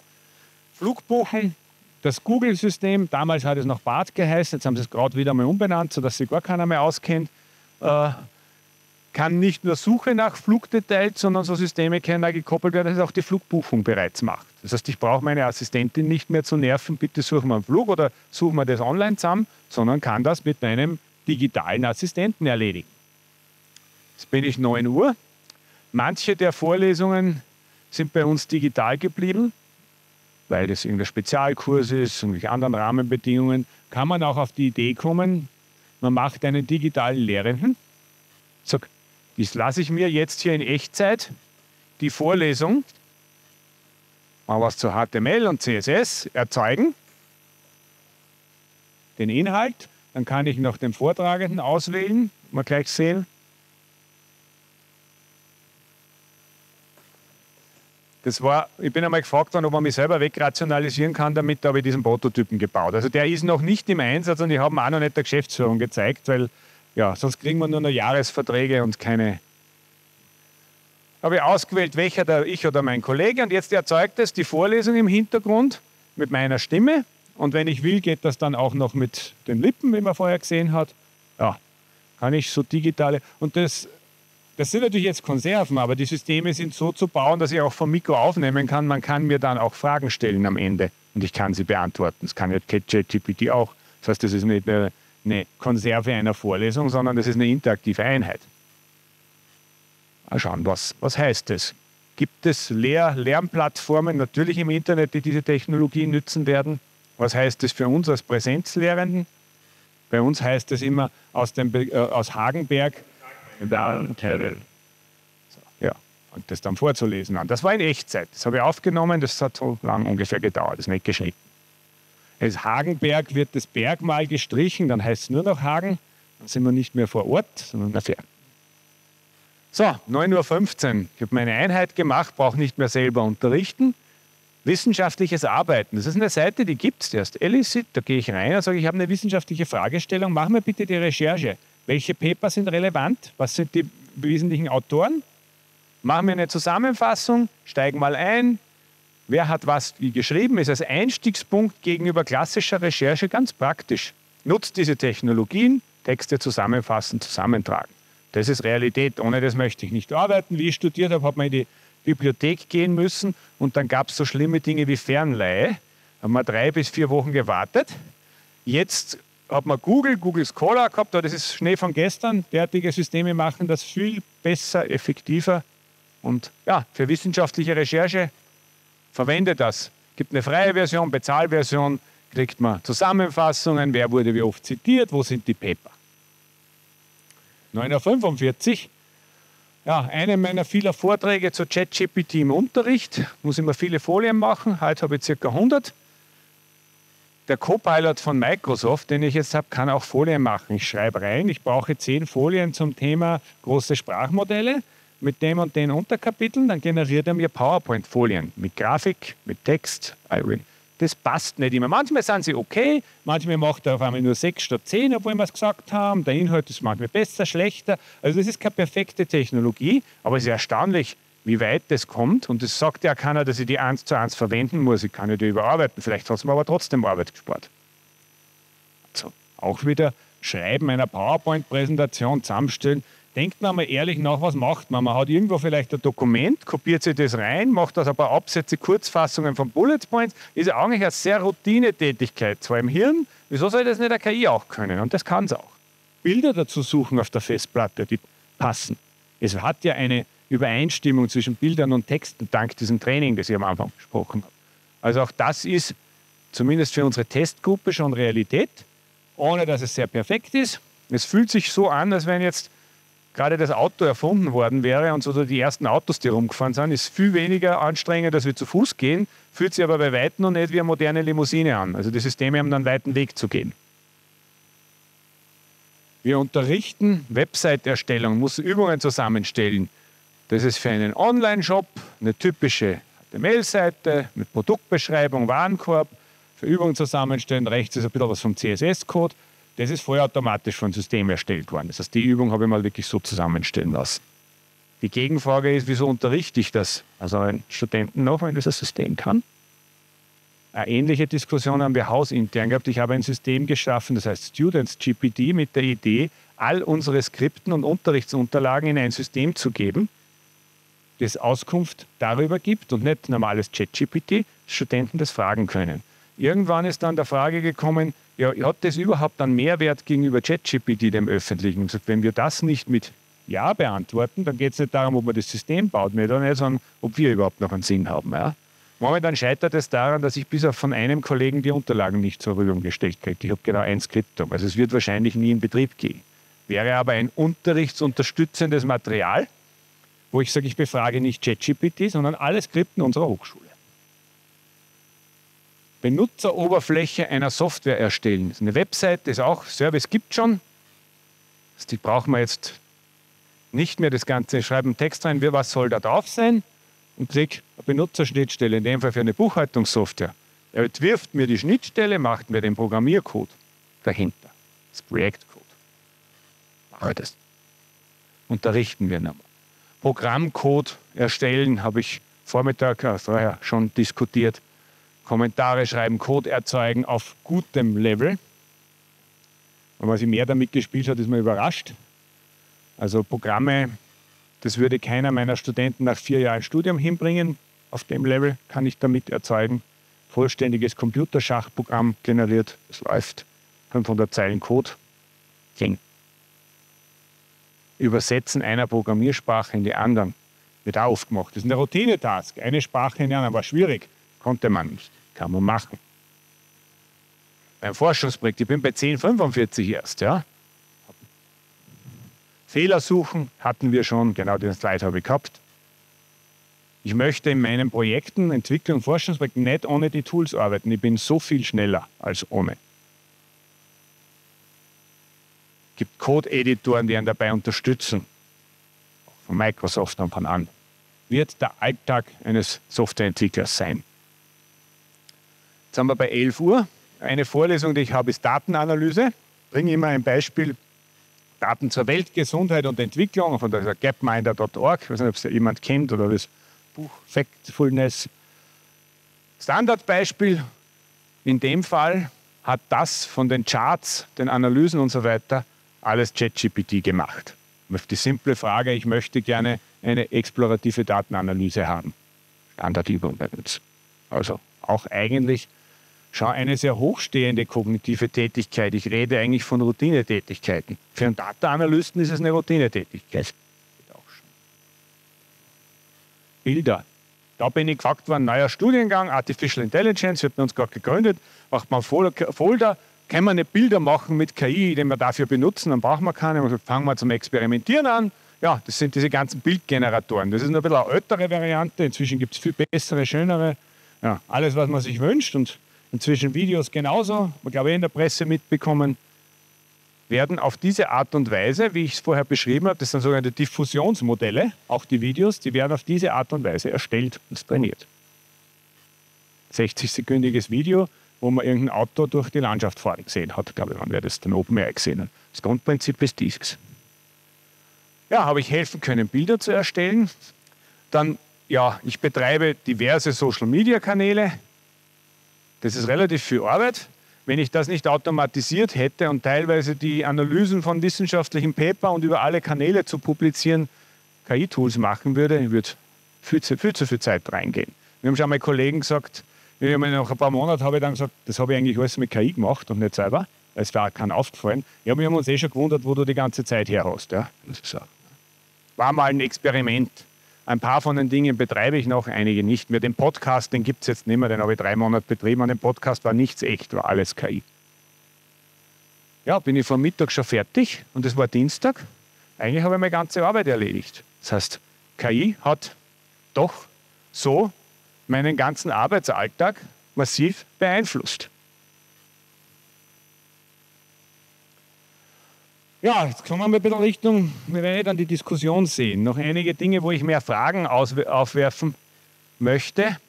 Was gibt es für Auswirkungen aufs Bildungssystem? Ja, die Meldung hat jeder im Kopf. Zentralmatura wurde von ChatGPT bestanden. Ist das jetzt eine Qualitätsaussage über ChatGPT oder das Gegenteilige über die Zentralmatura? Alles ist relativ, würde ich als Physiker sagen.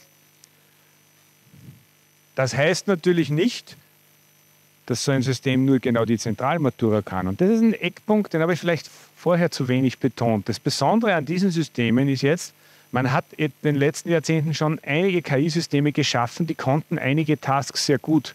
Die Beispiele mit Go und Schach haben wir gehört. Das waren Systeme, die konnten genau diesen Task, auf den sie trainiert wurden.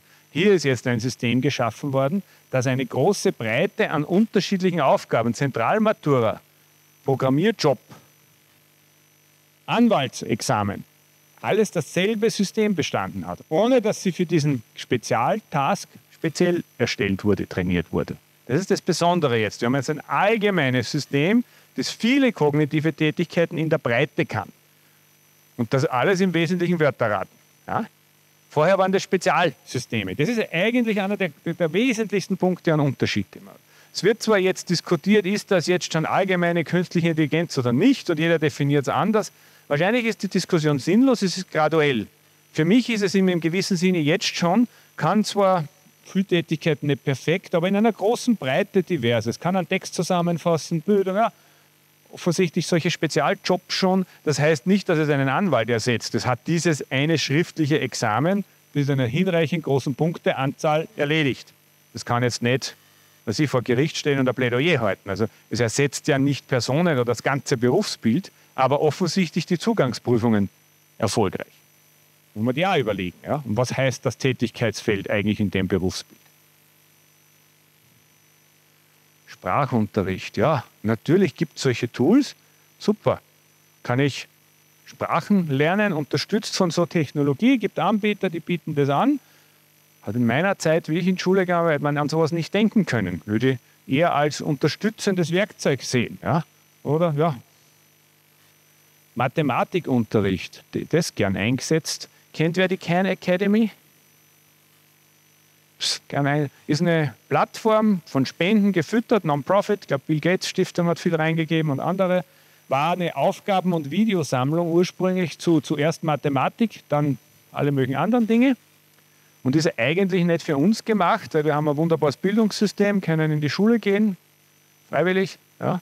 Wenn ich wo in der dritten Welt sitze und keinen Zugang zu so einer Bildung habe, bietet mir diese Plattform und für hunderte Millionen Registrierte die Möglichkeit, hochqualitative Bildung für die ganze Welt anzubieten. Das ist die Idee hinter der Plattform. Und die haben jetzt eines gemacht, die haben einen KI-Assistenten dazugegeben auf dieser Technologie, der Can Migo. Der hilft den Studierenden, nicht nur, wenn sie die Video angeschaut, die Übungen machen, Videos angeschaut haben, mit spezifischen Fragen, Antworten, aber nicht wie ChatGPT einfach nur eine Antwort geben, sondern langsam hinführen. Also der hat ein didaktisches Konzept dahinter. Kann man sagen, macht das jetzt uns als Lehrer obsolet? Ist das gefährlich? Das ist jetzt vielleicht unsere westliche Sichtweise. Wenn ich in Afghanistan sitze und in keine Schule gehen kann, weil ich Mädchen bin, dann bin ich vielleicht froh, dass es solche Tools gibt. Wenn man mir den Internetzugang zumindest lassen hat, bietet es mir eine Bildungschance.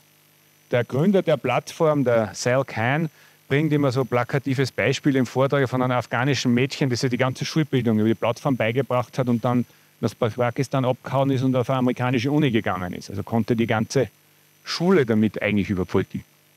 Sehr plakatives Beispiel, wird ganz gern hergenommen.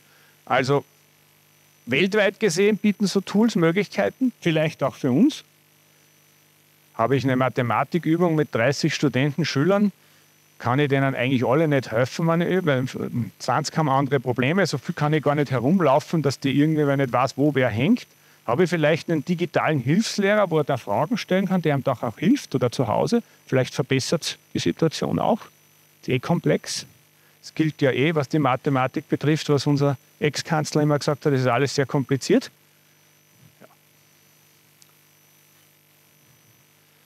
Die Gefahren haben wir schon angesprochen. Falsche Informationen, da sind wir bei den QAR. Ja?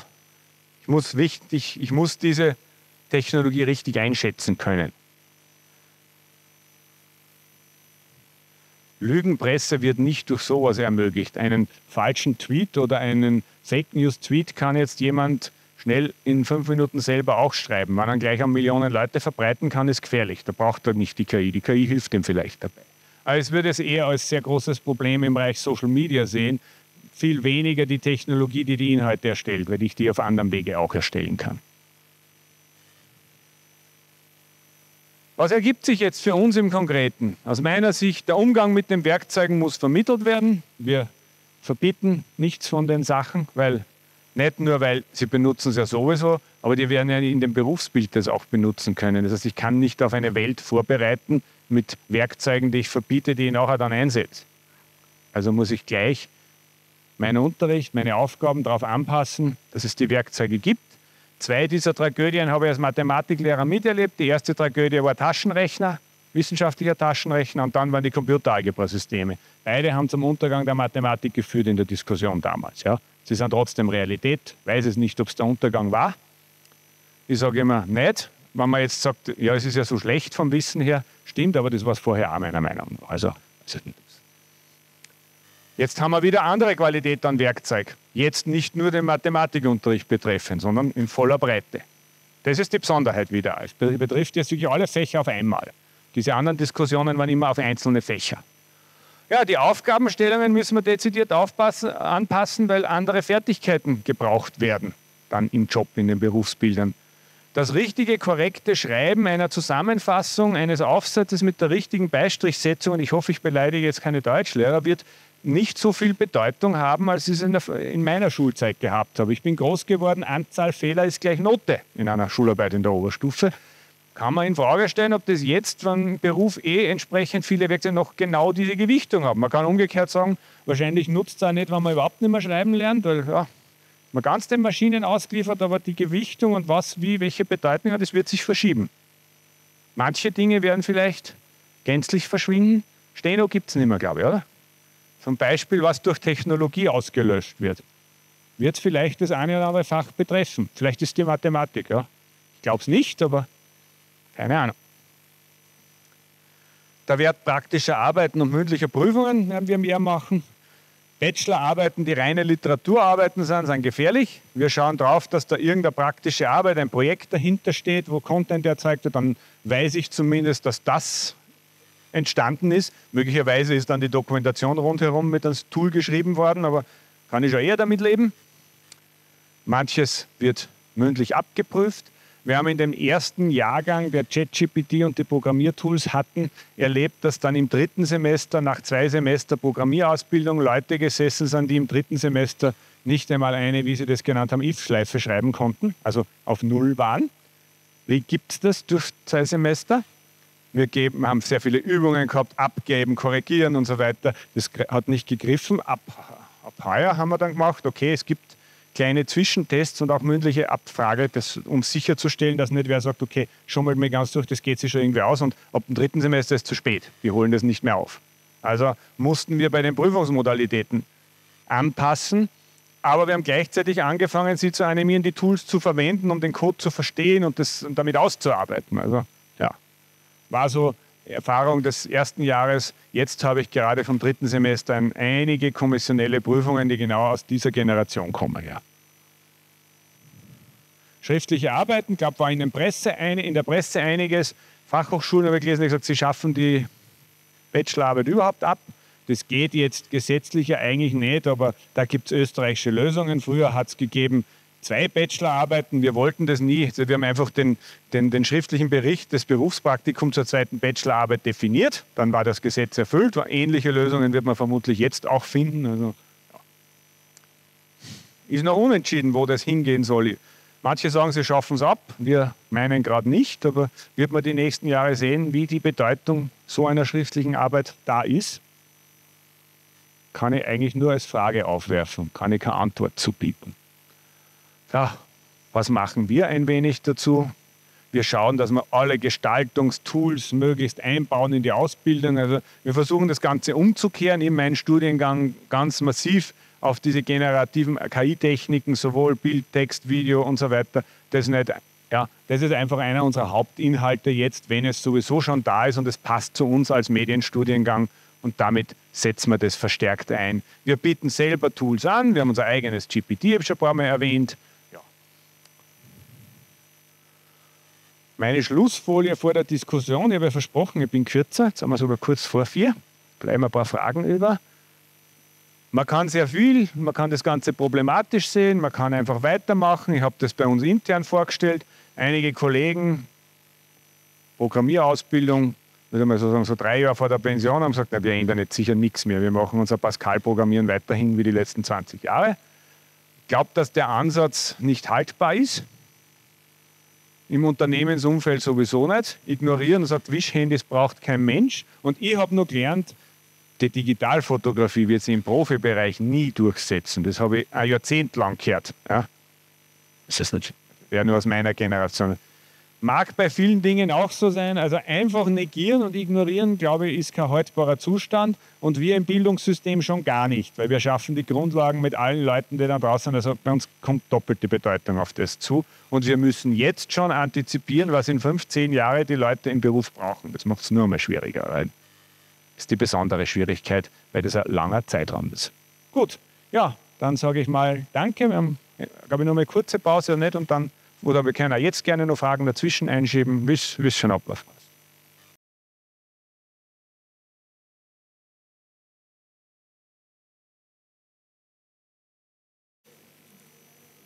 So, wir können mit dem Diskussionsteil starten und äh, ja, würden euch gleich einmal bitten, eure Fragen zu stellen, wenn ihr welche habt.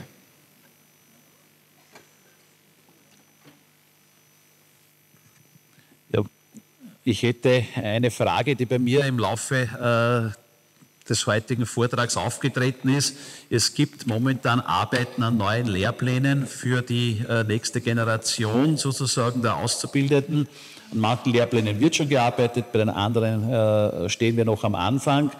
Wahrscheinlich so ungefähr 2026, vielleicht 2027 werden die in Kraft treten. Die ersten Absolventinnen und Absolventen werden dann ungefähr 2031, 2032 sozusagen auf den Arbeitsmarkt oder in die weiterführenden Bildungseinrichtungen kommen.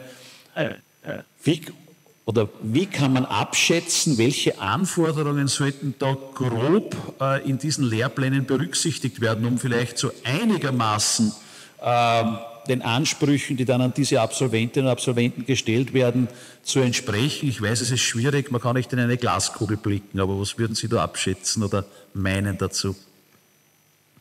Ja, ich kann natürlich auch nur mal unterstreichen, dass es sehr schwierig ist abzuschätzen. Das mit der Glaskugel wissen wir eh. Ich denke, für die, für die Praxis, wenn ich mir jetzt vorstelle, ich als Lehrer wäre jetzt, müsste nach, den, nach einem Lehrplan vielleicht unterrichten, der jetzt fünf Jahre alt ist. Ich würde das machen, was man mir am Beginn als Lehrer gesagt hat, der, der Lehrplan ist ein Rahmenlehrplan, er enthält sehr viel Freiheit darin, was zu machen und würde das auf jeden Fall großzügig auslegen und das, was aktuell ist, was ich richtig halt machen und mich nicht zu sklavisch daran halten. Das wäre einmal ein pragmatischer österreichischer Zugang, was natürlich nicht ähm, davon abhängt, dass man die, die, Pläne natürlich trotzdem aktualisieren muss, aber damit kann man einmal diesen Zeitgap versuchen äh, zu mindern, ist wahrscheinlich die einzige praktische, realistische Chance. Ansonsten, ich, wenn ich jetzt, ich bin jetzt nirgends involviert, aber wenn ich jetzt da für einen Lehrplan, der 2031 Wirkung hat, involviert wäre, wüsste ich nicht, was ich raten sollte. Was ist seit 2022 bis jetzt entstanden? Was ist seit gestern oder letzte Woche? Es fällt mir schwer, den ganzen technologischen Entwicklungen nur auf meinem Gebiet Schritt, Schritt zu halten und den Auswirkungen.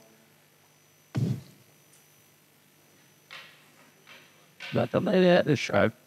Also den Lehrplan nicht zu ernst zu nehmen. Ich weiß nicht, ob man das sagen darf.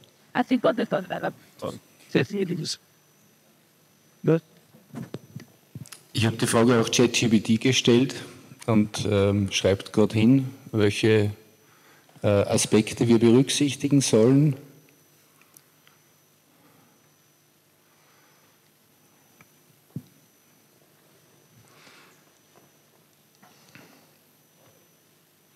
Ist halt dran.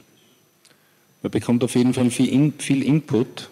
Ich, aber es gelesen zu haben, wird es sehr viel oberflächliches Gewäsch sein, damit sie auch nichts falsch sagt. So sind die Systeme gebaut. Okay. Guter Politiker vermutlich. Aber was wird man machen, wenn ich jetzt an meine Zeit als erste Dienstjahr zurückdenke? Da hat mir mein Direktor gesagt, orientieren Sie sich bei dem Elterninformatikkollegen, was der macht und halten Sie dran. Und der hat halt dann an der Tafel Binärrechnen mit den Schülern gemacht. Und ich habe das halt einfach schlichtweg ignoriert und das gemacht, was ich für richtig gehalten habe. Ja.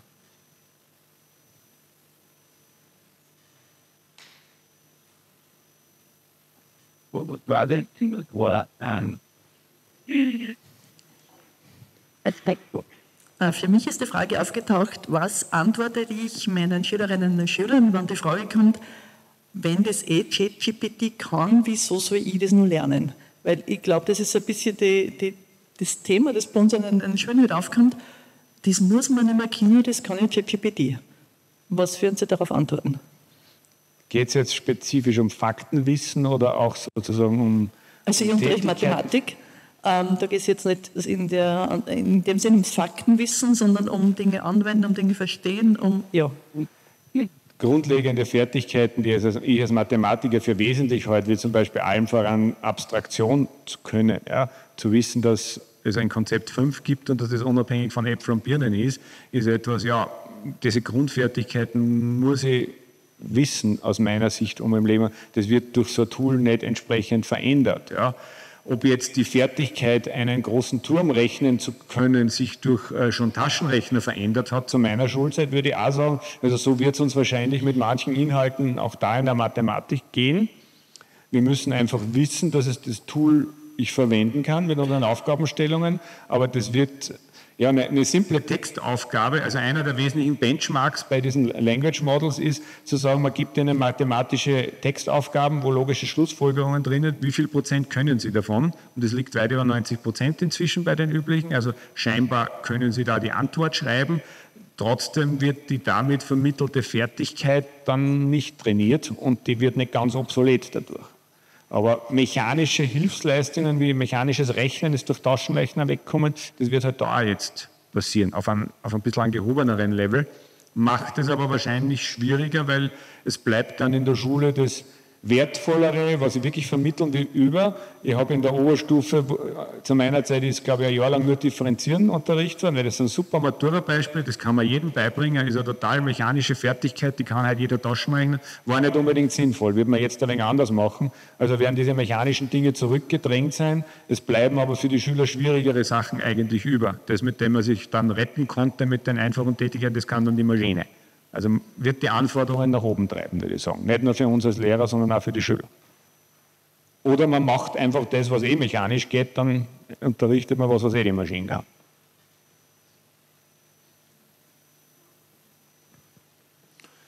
Ich hätte auch eine Frage, und zwar dieses Unsinnswort, die Kuheier.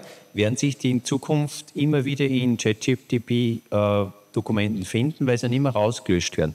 werden also so Unsinnswörter, die generiert werden, weiter vererbt an neue Suchanfragen und wenn dann so ein selbstreferenziertes Lernen kommt, taucht es dann in gewissen Algorithmen immer wieder auf und wird das weitergeschrieben. Also wenn man jetzt annimmt, es hätte QR wäre jetzt durch so ein System das erste Mal entstanden. Dadurch äh, ist es dann irgendwo im Internet publiziert. Zukünftige Systeme werden ja immer wieder aus Daten aus dem Internet trainiert. Das heißt, da kommt verstärkt das drinnen vor. Äh, man darf es halt auch nicht isoliert als einzelnes vorkommendes Wort sehen. Wesentlich heißt, ist immer der Kontext. Das heißt, wenn das publiziert wird und in einem entsprechenden Umfeld ist, wo genau thematisiert ist, dass das eine problematische Antwort ist, dann kriegt ja das das System mit. Das System sieht ja nicht nur die isolierten Wörter, sondern es geht ja immer um den Zusammenhang durch die großen Ketten.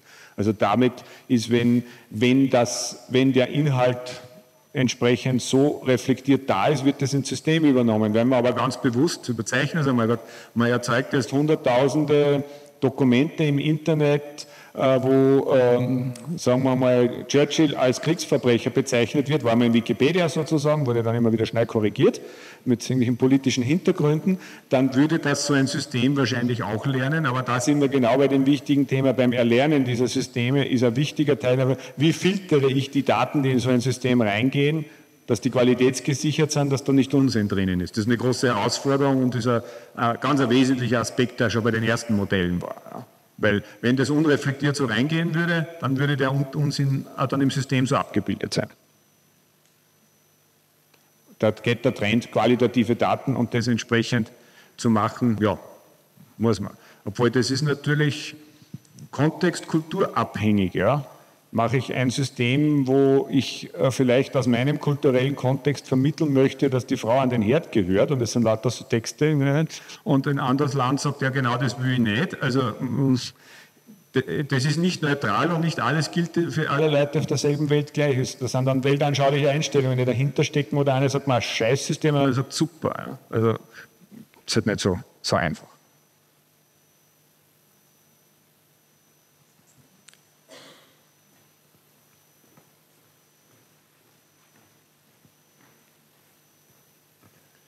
Ja, ich bin auch Mathematik- und Turnlehrer. Äh, und da geht es jetzt da um Programme wie GeoGebra, verwenden wir in der Oberstufe bei uns, wo eben das Differenzieren und das Integrieren nur immer ein halbes Jahr ungefähr der fünf Jahre benötigt. Und wenn man dann GeoGebra nimmt in der Oberstufe, dass sie normale Integrale runterintegrieren, und dann kommen sie auf die FH oder auf die Universität und dort müsst das wieder alles mit der Hand, weil GeoGebra nicht verwendet werden darf auf der Universität, weil sie sich fürchten vor dem Schummeln. Äh, dann fragen wir aber schon ab und zu, äh, ja, passt das Bildungssystem, ist das durchgängig oder ist das nicht durchgängig? Weil, äh, ja, das würde natürlich gegen die Durchgängigkeit sprechen. Äh, ist ein Unsinn, dann händische Integrale bis das Letzte zu machen. Wenn ich jetzt umgekehrt Leute aus der Schule kriege, die nur mehr mit GeoGebra Integrale gemacht haben und auch die Grunddinge und die Ideen nicht vermittelt bekommen haben und mir, die müssen wir nicht viel differenzieren können, aber wenn wir die, die Grundideen, äh, die ge geometrisch und so weiter nicht einmal erzählen können, sage ich, okay, ihr habt in der Schule vielleicht dort was falsch gemacht, dass ihr zu viel Fokus auf Rechenoperationen gelegt haben und weniger die Ideen zu vermitteln. Ja. Weil die Wichtigkeit, ohne Differenzieren hätten wir all die Systeme nicht. Lernen tut so ein Sprachmodell, dieses Updaten macht durch Differenzieren. Durch Differenzieren. Ja. Kernding dahinter.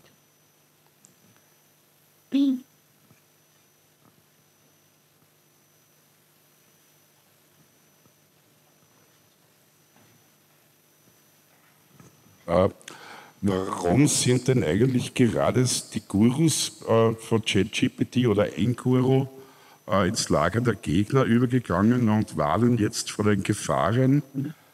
Äh, es sind doch äh, nicht nur einer, sondern es sind ja mehr Naturwissenschaftler, die eben da die große Gefahr von dieser künstlichen Intelligenz sieht. Aber welches Interesse haben die? Was steht da dahinter? Ist unterschiedlich zu sehen. Also es sind jetzt verschiedene Personen angesprochen. Von den Gründern von OpenAI oder ChatGPT ist natürlich einmal Elon Musk jetzt einmal erwähnt, der jetzt auch geklagt hat und so weiter. Und äh, da würde ich einmal die Gründe ganz einfach dort sehen, dass der einfach äh, jetzt, der äh, wenn der jetzt bei OpenAI nur dabei war und vorhin dabei war, würde er ganz anders denken. Da ist es Konkurrenzdenken und sonst was. Da würde ich ihm jetzt keine Motive irgendwie herer Art unterstellen. Allerdings wenn man jetzt nur von diesen OpenAI, den wenigen Leuten wegschaut und einmal die, die, die namhaften Leute in, in, in diesem Bereich der KI-Forschung anschaut, gehen die Meinungen extrem weit auseinander. Also es gibt jetzt Leute wie, äh, wie Geoffrey Hinton, die so warnen, das ist einer von den Deep Learning-Gurus, äh, ganz schlimm, was da kommt. Und am anderen Ende gibt es welche, die sagen, ja, das, das, ist, das, ist, das ist ein Feuerweg in der Geschichte, das wird nie gescheit funktionieren, das wird nicht weitergehen. Also zwischen Gefahr und dieses Blödsinn geht bei den großen Köpfen die Meinung extrem weit auseinander. Ja? Also da ist, ist kein Konsens bei den Wissenschaftlern, wo das, wo das hinführen wird. Ja? Und viele sind in der Mitte. Es ist halt eine sehr neue, sehr schnell gekommene Technologie macht es zusätzlich schwierig. Mein Vergleich mit den industriellen Revolutionen ist ja, hinkt ja ein bisschen, da hat man ja vielleicht ein, zwei Generationen Zeit gehabt, sich darauf einzustellen. Jetzt sind es nicht Generationen, sondern Jahre. Also diese Geschwindigkeit ist ein Unterschied zu früher. Also die Gefahr des Kopien war dieser Box ganz ungesehen, LK, das spätestens. Also die, die Gefahr dieses mächtigen Computers ist doch spätestens seit Kubrick und Odyssee im Weltraum äh, allgemeines Kulturgut. Also, äh ja, das sind so diese, was ich am Beginn gesagt habe, wieso ich nicht so viel Freude habe mit diesen Science-Fiction-Dingen, weil da wird auf einer Ebene Gefahr vorgegaukelt, der aus meiner Sicht nicht da ist. Gefahren sind dann auf anderen Ebenen eigentlich. Gefahr sehe ich da wird, dass wir nicht in der Lage sind, den gesellschaftlichen Wandel so schnell zu vollziehen, dass wir die Änderungen, die wir in der Arbeitswelt haben, umzusetzen, dass den Leuten wirklich gut geht. Dort sehe ich mehr Gefahren, dass uns jetzt ein so ein Computer aller Kubrick versklavt, das ist Science Fiction.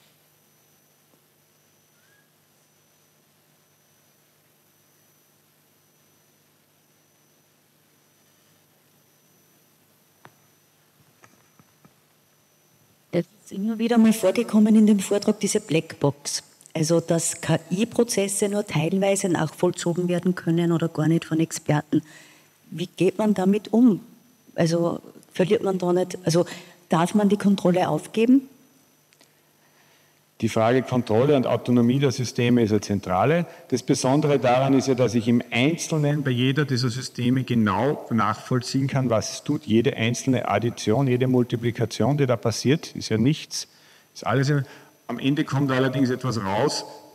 Dazwischen äh, verliert man dann zu verstehen, wieso diese Einzelteile, die das machen, dass man weiß, dieses Resultat rausbringt. Ja, das ist das, was das Blackbox-artige ist. Es geht großer Teil der Forschung da rein. Ich arbeite selber in Teilen, wo man versucht zu verstehen, wo in einem Netz passiert was, wie. Man versucht massiv mehr zu verstehen, wie, wie sie funktionieren. Ja man wird damit das Blackbox-artige nicht ganz wegbringen. Und es ist halt so, dass sehr viele der Systeme wohl als assistierende Technologie mit Menschen in Kombination in den praktischen Einsatz kommen und nicht äh, sozusagen die, den letzten Entscheidungsakt, der ja vielleicht wenn man etwas Juristisches hätte, ja, und ein Jurist setzt so ein System an, um Akten zu durchforsten, die letzte Entscheidung dem System zu übertragen, das wäre der gefährliche Punkt aus meiner Sicht. Das System zu benutzen, um mir Zusammenfassungen zu schreiben, die Akten besser zu verstehen, wieso nicht? Ja? Und es wäre auch, glaube ich, juristisch nicht haltbar. Ein Software-System kann jetzt per se keine juristische Entscheidung treffen. Das ist nicht, geht nicht. Ja? Und so ist es halt in anderen Bereichen auch. Also wird es wohl als unterstützend für Menschen sein und nicht, oder auch funktioniert auch nicht anders und nicht diese eigentliche Entscheidung zu setzen. Also sind wir wieder bei der Science-Fiction-Literatur, dann sind wir bei, weiß ich, Brasil, wo es die Richtercomputer gibt, wo man immer Diskette reinsteckt, dann sagt sogar schuldig oder nicht schuldig. Ja. Sowas kann man programmieren, aber es ist einfach Unsinn und auch gesellschaftlich nicht erwünscht. Und kann man hoffentlich annehmen, dass wir so weit in der Lage sind, dass wir das, was wir gesellschaftlich wollen, auch so realisieren und nicht das, was wir nicht wollen. Das liegt in unserer Hand. Da ist aber ein wichtiger Punkt, dass die entsprechenden Dinge und Technologie so demokratisiert ist, dass es nicht im Hand einiger weniger Konzerne ist, die dann vielleicht was bestimmen können, sondern am besten, jetzt ist der Geist ist aus der Flasche, es gibt so Dinge, dann ist es am besten, das wirklich der Öffentlichkeit zugänglich zu machen, einsehbar, transparent, breit ja, und nicht irgendwie eingeschlossen bei fünf Internetkonzernen. Die Entwicklungen gehen auch stark in die Richtung. Also die entsprechenden Open Source Communities, diese Dinge, da entsteht viel und das wird, also das wird, das bleibt nicht so konzentriert und das ist nur OpenAI, sondern aus jedem Apple-Handy werden es in den nächsten Jahren sowas haben, das wie ChatGPT das am Handy beantwortet, ohne da irgendwo hin zu telefonieren oder ja. abzufragen. No, the, I have Microsoft, they're, they're aus.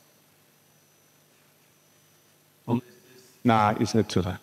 Ist schon breiter gestreut. Es gibt europäische Modelle, gibt aus Frankreich jetzt eins, das konkurrenzfähig ist. Es gibt äh, Open-Source-Varianten, die dann von 100 anderen verschiedene, verschiedene Richtungen weiterentwickeln. Also das fächert sich momentan gerade massiv auf.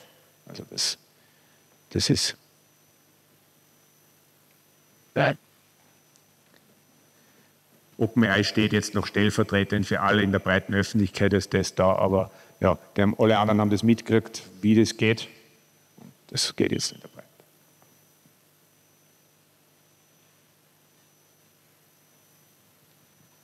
Da würde ich vielleicht noch äh, kurz einhaken zu dem, ähm, weil mich das auch persönlich interessiert hat. Warum steht jetzt ChatGPT so im Vordergrund? Weil mit dem ist es irgendwie groß äh, in die Öffentlichkeit gekommen. Ist es jetzt rein, weil sich die Medien so darauf gestürzt haben oder gibt es irgendein Unterscheidungsmerkmal zu eben den Konkurrenz-KIs? Das war halt das Erste, was einer breiten Öffentlichkeit so zugänglich war, auf dem Qualitätsniveau, sodass jeder seine persönliche Erfahrung damit machen konnte. Irgendwo in der Zeitung oder in einem wissenschaftlichen Artikel zu lesen, wie gut irgendein KI-System in einem Benchmark abschneidet, ist eines, lieb und nett lässt man durch, hat kein Gefühl dafür. Wenn man vor dem Ding sitzt und irgendwie einen Dialog führt und auf einmal das Gefühl ja, das scheinbar versteht das den Text wirklich, aber also, dann habe ich diese persönliche Erfahrung und die haben dann auf einmal hunderte Millionen Leute gehabt und dann ist auch medial das angeschaut. Also diese persönliche Erfahrung, glaube ich, ist der wesentliche Unterschied. Da ist es aus dem wissenschaftlichen Umfeld uns war seit 2020 klar, was das kann und was ich, November 22 und da war halt OpenAI so, sind eh kritisiert worden, aber so um Gottes Willen, das hätte man nicht einfach an die Öffentlichkeit geben, das ist so gefährliche Technologie. Weil sagen, ja, es ist gut, dass jeder weiß, was ist, sonst wäre das im stillen Kämmerlein irgendwo. Ja. und Sepp Hochreiter von der JKU Linz, der hat eben jetzt auch eine Firma gegründet, gemeinsam mit Partnern, nach, äh, kann man sagen, jahrelanger, äh, nach jahrelanger Suche auf, äh, nach finanziellen Möglichkeiten vom Staat hat er es nicht gekriegt für, für die Grundlagenforschung. Und äh, jetzt äh, ist da eine Firma gegründet worden und da können wir uns sozusagen freuen, weil das ist ein Linzer, ein österreichisches, ein europäisches Konkurrenzprodukt zu ChatGPT, das da auf den Markt kommen wird. Was?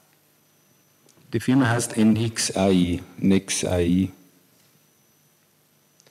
Also die Erwartungshaltung, dass da ein in der Breite von ChatGPT konkurrenzfähiges Produkt auf den Markt kommt, ist eine falsche.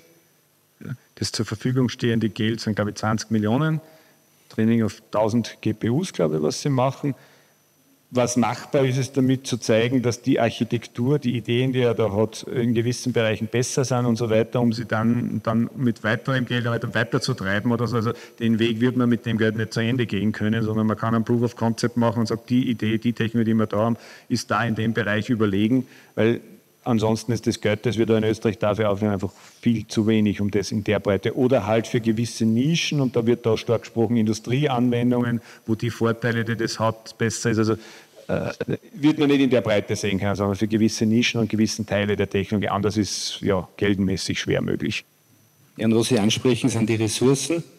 Und diese, man darf nie vergessen, dass diese KI-Systeme sehr ressourcenintensiv sind. Und äh, ein Beispiel, äh, das Generieren von einem Bild äh, kostet so viel Energie wie das Aufladen von einem Smartphone. Und ähm, viele tausend Megawattstunden werden fürs Training verwendet. Und wenn man überdenkt, dass ChatGPT 100 Millionen User hat und mit Journey ja auch viele Millionen User und die permanent Bilder generieren, ähm, in der heutigen Zeit ist es, sehe ich das als Problembereich, dass da so viele Ressourcen benötigt werden. Wird es, und es ist auch gekoppelt mit einer sehr starken Atomkraftdiskussion. Also das, was an Modellen in Europa, gerade in Frankreich trainiert wird, sind überwiegend mit Atomstrom gemachte Dinge und ja, wird es ist ein bisschen immer gekoppelt, wenn man so manche Interviews vom OpenAI-Chef sieht, wo er, der auch in, in, Kernfusionstechnologie investiert und so die Hoffnung, das wird das dann mitlösen, haben wir unbegrenzte Energie. So meiner Einschätzung nach wird man das mit der Kernfusion nicht so schnell hinbekommen, dass das dafür relevant ist. Aber da, ja, da sind die Amerikaner oft ziemlich grenzenlose Optimisten. Aber das war auch so, wie sie OpenAI 2016 gegründet haben und gesagt haben, wir machen allgemeine künstliche Intelligenz, haben sie alle ausgelacht. Toll.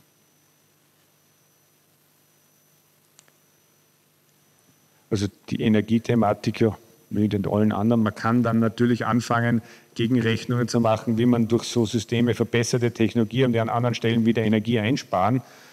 Kann mit Sicherheit auch eine Studie machen, die, man, die dann nachweist, dass im, in, in Summe das dann, man kann in jeder Studie, in jede Richtung, wie man es haben will, Modellrechnung machen. Ja, und die Systeme arbeiten ja im Hintergrund, soweit ich weiß, mit, mit Grafikkarten. Grafikkarten und jedes, der eigentlich konkurrenzfähig ist, genau ein, ein Anbieter. Nvidia. Nvidia.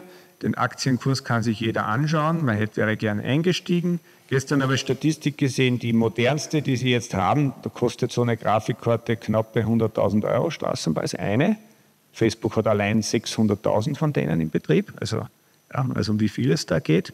Und die Gewinnmarge bei einer dieser Grafikkarten, die können Sie offensichtlich, weil Sie noch Monopolist sind, ich sage noch, es wird gerade massiv versucht, wir sehen alle, dass da Geld zu verdienen ist, ist irgendwie, glaube ich, bei 94 Prozent oder 95 wenn man der Vergleich war, wenn man eine Gelddruckmaschine herstellt, die 100er druckt, ist die Gewinn, das braucht auch ein bisschen Material, eine Maschine, da ist das ungefähr in derselben Größenordnung. Die, also das ist, das ist buch, buchstäblich eine Gelddruckmaschine momentan. Das wird eine gewisse Zeit jetzt anhalten. Keiner baut so ein schönes Ding wie das HA100 von denen.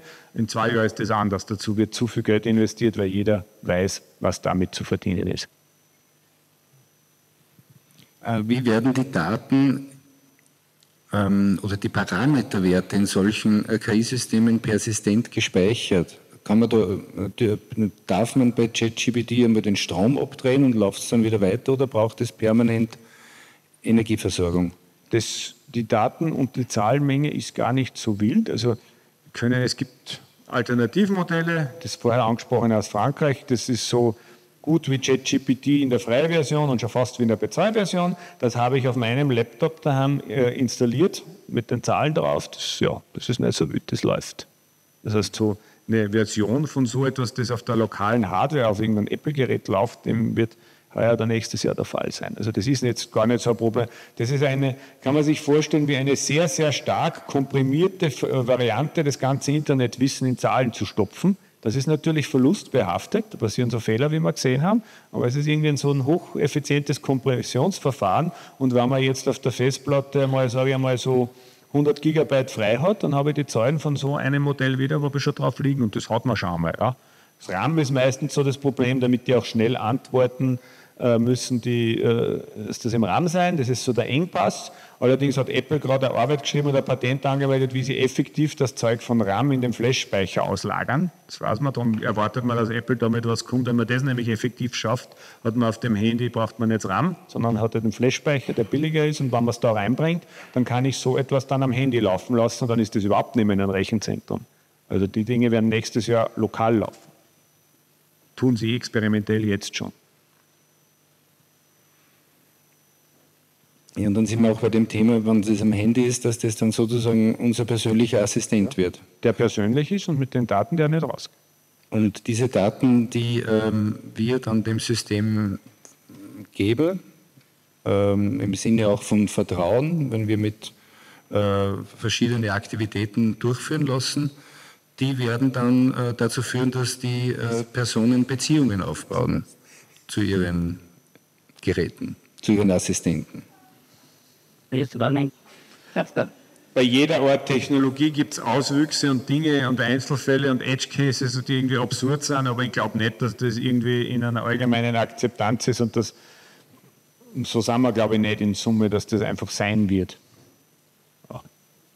Natürlich gibt es irgendwo wen und eine schöne Geschichte, die erst, wo irgendein Journalist eine schöne Story draus machen kann, weil ja, das wird ein wenig über, über betont, würde ich.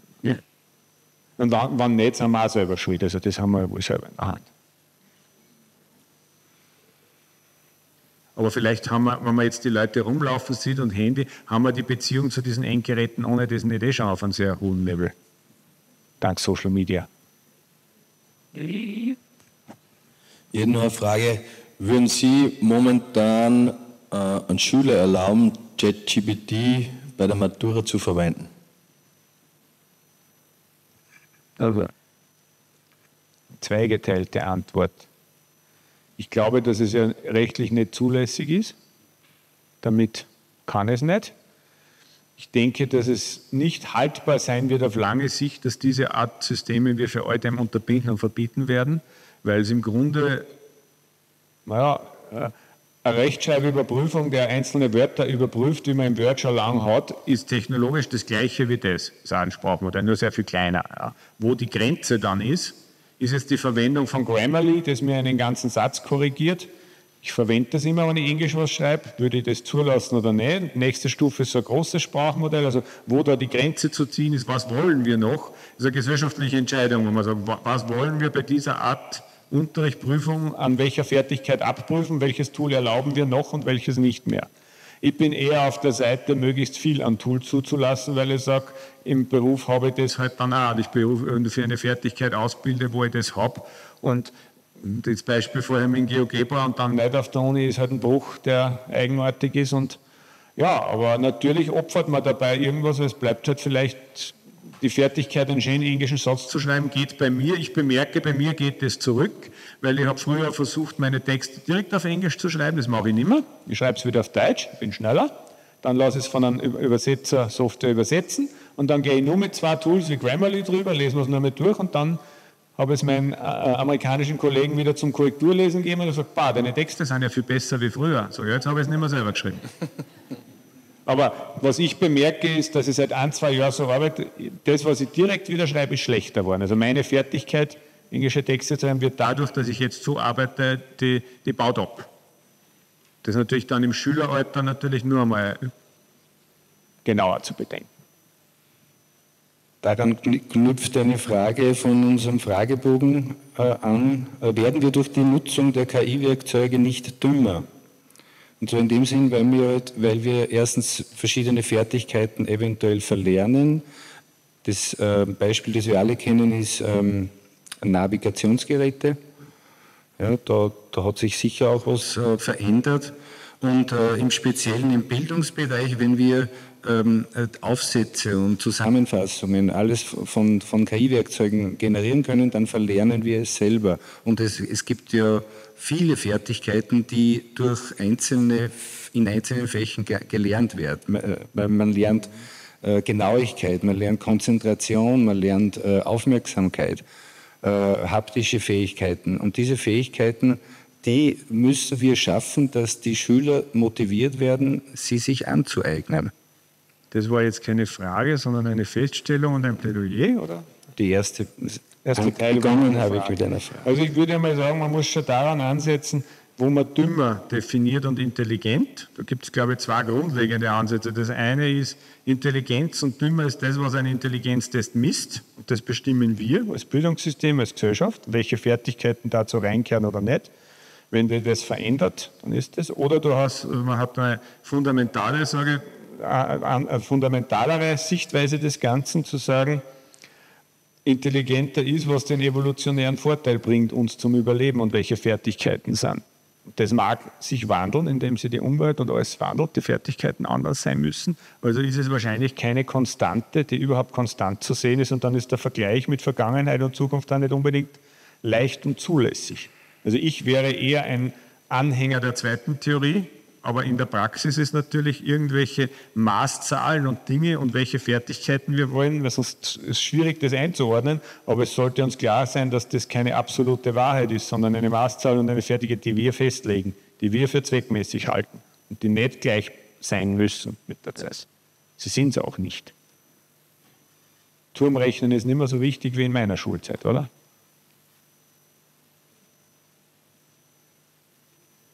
Intelligenz ist was. Ich nehme an schon, dass die adaptiert werden. Ja. Und wenn man nicht am Intelligenztest geht, sondern für was wir Noten hergeben, ist der Algorithmus Anzahl Rechtschreibfehler gleich Note in, in Deutschmatura immer noch der, der gängige? Bei meiner Zeit war das. Gibt da klar, völlig egal, wie gut der Inhalt war. Wahrscheinlich gibt es ausgewogene Schemata, wo es Punkte für das und das und das gibt. Und ja, also das hat sich das System an dem Eck sicher verbessert zu meiner Jugendzeit, weil man da schlauer geworden ist, weil man sagt, die Fertigkeit, eine gute Textanalyse schreiben zu können, ist nicht zu 100% schlechter gewichtet gegen die Beistrichsetzung. Weil mag auch technologisch begründet sein. Man kann natürlich begründen, dass Beistrichsetzung äh, wichtig ist, weil sonst was ich, essen wir Opa Beistrich oder wie ist das Beispiel? Ja. Das sind halt muss.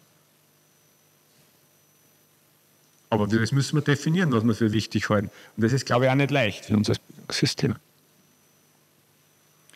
Wenn man in ChatGPT eine Frage eingibt, dann äh, kann man nachher weiterführende Fragen stellen und näher, mehr ins Detail gehen.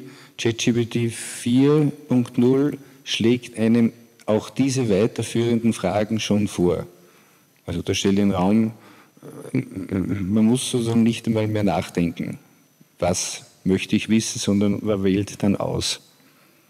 Ich muss aber doch nachdenken, wenn ich eine Auswahl von mehreren Möglichkeiten bekomme, welche ich gehe und entscheiden können, ob das in die Richtung geht. Manches Mal schlägt er mir was vor, was sinnvoll ist, manchmal möchte ich in eine andere Richtung. Ja, das obliegt weiterhin mir und es ist, es ist trotzdem nur eine Autovervollständigung und nicht mehr. Man sollte nicht mehr reingeheimsen, als was es ist. Und die Autonomie kann ich nicht abgeben an so ein System. Bis zum Letzte. Es ist nur das, was es ist. Hm. Das, was ich anspreche, ist das, weil man sich damit beschäftigt, äh, man, man denkt sich rein in ein Thema und, und geht in die Tiefe und, äh, und diese, dieser Vorgang, den muss ich sozusagen dann nicht mehr machen. Doch. Also ich werde, wenn ich im Medienbereich vordere, sage ich immer, Journalisten sind ja auch sehr tangiert durch das. Und, äh, Beginn sind sie immer sehr interessiert, bevor und dann, dann mitkriegen, was die Technologie alles kann und so weiter, dann werden sie immer ruhiger. Dann sagt er immer, ihr werdet in Zukunft fürs Denken bezahlt und nicht mehr fürs Schreiben. Das Denken nimmt man nicht ab, die Story zu entwickeln, aber vielleicht Teile beim Schreiben. Wenn ich heute einen Blogartikel schreibe, fange ich den nicht mehr von Null zu schreiben an, sondern ich schreibe in so ein System, bitte mach mir mal eine Internetrecherche zu dem und dem Thema und fasse mir diese Texte zusammen, dann liefert er mir die. Sage ich mal, bitte schreib mir das bitte ganz äh, um und bring das aus einer europäisch-kritischen Sichtweise, diese Technologie zu betrachten. Ein anderer Text. Also ich steuere sehr genau, welche Aspekte, welche Quellen ich hinzufüge und am Ende kommt das raus. Das habe ich zur Hälfte nur noch selbst geschrieben. Es ist effektiver, schneller. Trotzdem möchte ich eigentlich den Inhalt, den ich rausgebe, nicht weggeben. Die Grundgedanken, welche Quellen verwendet, wie, was, das gebe ich auch alles vor ist immer noch relativ viel Arbeit. Muss auch einiges schreiben. So simpler Prompt, schreib mir eine Geschichte zu so und so, na, dann kommt halt irgendwas so ein allgemeines Geschwafel daher. Ja. Also dieses scheinbare wichtige Prompt-Engineering heißt, ich muss trotzdem denken, es ist nur eine Schreibunterstützung, mehr ist es eigentlich wieder nicht. Also Ihre englische Kompetenz äh, im Schriftlichen ist schlechter geworden, ja. haben Sie festgestellt. Fürchten Sie nicht, dass da auf lange Sicht dann auch Ihre Kompetenz im Deutschen Schriftlichen irgendwann auch einmal schlechter werden wird? Ja, das fürchte ich. Ich schätze auch, dass es so sein wird. Die Frage, die ich mir stelle, ist, wie relevant das ist sozusagen. Ich bin bequem, ich möchte mehr Output, ich schreibe schneller. Ich denke, dass meine Fertigkeiten dadurch dort ein wenig schlechter werden. Vielleicht habe ich die Zeit genutzt, um damit andere Fertigkeiten, das ist ja eine Abwägung. Ja, ich kann jetzt nicht sagen, ob ich das jetzt grundlegend positiv oder negativ sehe, da bin ich zwiegespalten. Wahrscheinlich müssen wir die Balance finden. Zu sagen, okay, ihr dürft alles nicht benutzen, ihr müsst gescheit Deutsch schreiben, jeder Satz händisch ist nicht haltbar. Es gibt sowas. Ja. Musst auch damit schreiben lernen. Auf der anderen Seite darf ich nicht hinten rumfallen und kann keinen Satz mehr gerade schreiben, weil ich ihn nicht mache. Dann kann ich auch mit dem System nicht mehr arbeiten. Also irgendwie muss ich es unter einen Hut bringen.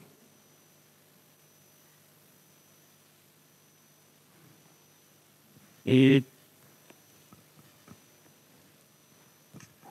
äh, lernen Sie Ihren Studenten dieses Prompt Engineering, weil das wird ja praktisch eine Sprache werden, die es, ich sehe es bei der Bildgenerierung mit Photoshop, wenn ich ordentliche Prompts mache, kriege ich das, was ich will, wenn ich Käse-Prompts mache, kriege ich einen Käse. Also wie, ich schätze mal, das wäre doch ein Unterrichtsgegenstand oder zumindest in, äh, in den Unterricht Denk einzubinden. Es ist eine wichtige Fertigkeit, sich verbal auszudrücken, was man genau haben will. Den Ausdruck Prompt Engineering habe ich nicht so gern, weil es eigentlich noch suggeriert, dass es was völlig Neues wäre. Ist in dem Sinne eigentlich nicht. Und es gehört aus meiner Sicht in den verschiedenen Fächern einzeln angesiedelt und es ist nicht eine Einzelfertigkeit und nicht ein neues Fach, weil es am am Fach hängt. Ob das jetzt in der Bildbearbeitung ist und ich Photoshop jetzt statt per Klick auch verbal bedienen kann, was es ja ist, ist was anderes, als wenn ich jetzt im Programmierunterricht auch mit entsprechenden Prompts mir Code generiere. Also ich, ich brauche entsprechendes Fachwissen, um es in dieser Domäne einzusetzen. Also gehört es beim jeweiligen Fach angesiedelt und ist dort halt einfach eine, eine Kulturtechnik, dass ich halt mich verbal ausdrücken kann, dem System was zu sagen, so wie ich halt andere Dinge auch können muss. Ja. Und, wir machen es explizit in der Ausbildung bei den Grafikdingen, Photoshop und ähnliches Ding. Wir machen es in der Programmiergrundausbildung. Äh, ja, wird von dem her mehr werden. Im wissenschaftlichen Arbeiten haben wir es zum Beispiel noch nicht, weil das natürlich also eine Frage ist, wie referenziert, wird gerade diskutiert, was, wenn, wenn ein Stück aus einem so einem System generiert ist, wie ist das als Quelle anzuführen? Muss jetzt nur angegeben werden, dass es hier eingesetzt wird, muss auch bei jeder Verwendung der entsprechende Prompt auch in der Arbeit referenziert angegeben werden. Das ist das Sauberste, ist wahrscheinlich nicht praktikabel, macht keiner. Irgendwie sind wir halt jetzt so in der Mitte davon. Ja. Es wird halt eingesetzt und du kannst nicht jeden Prompt immer mitspeichern. Ja.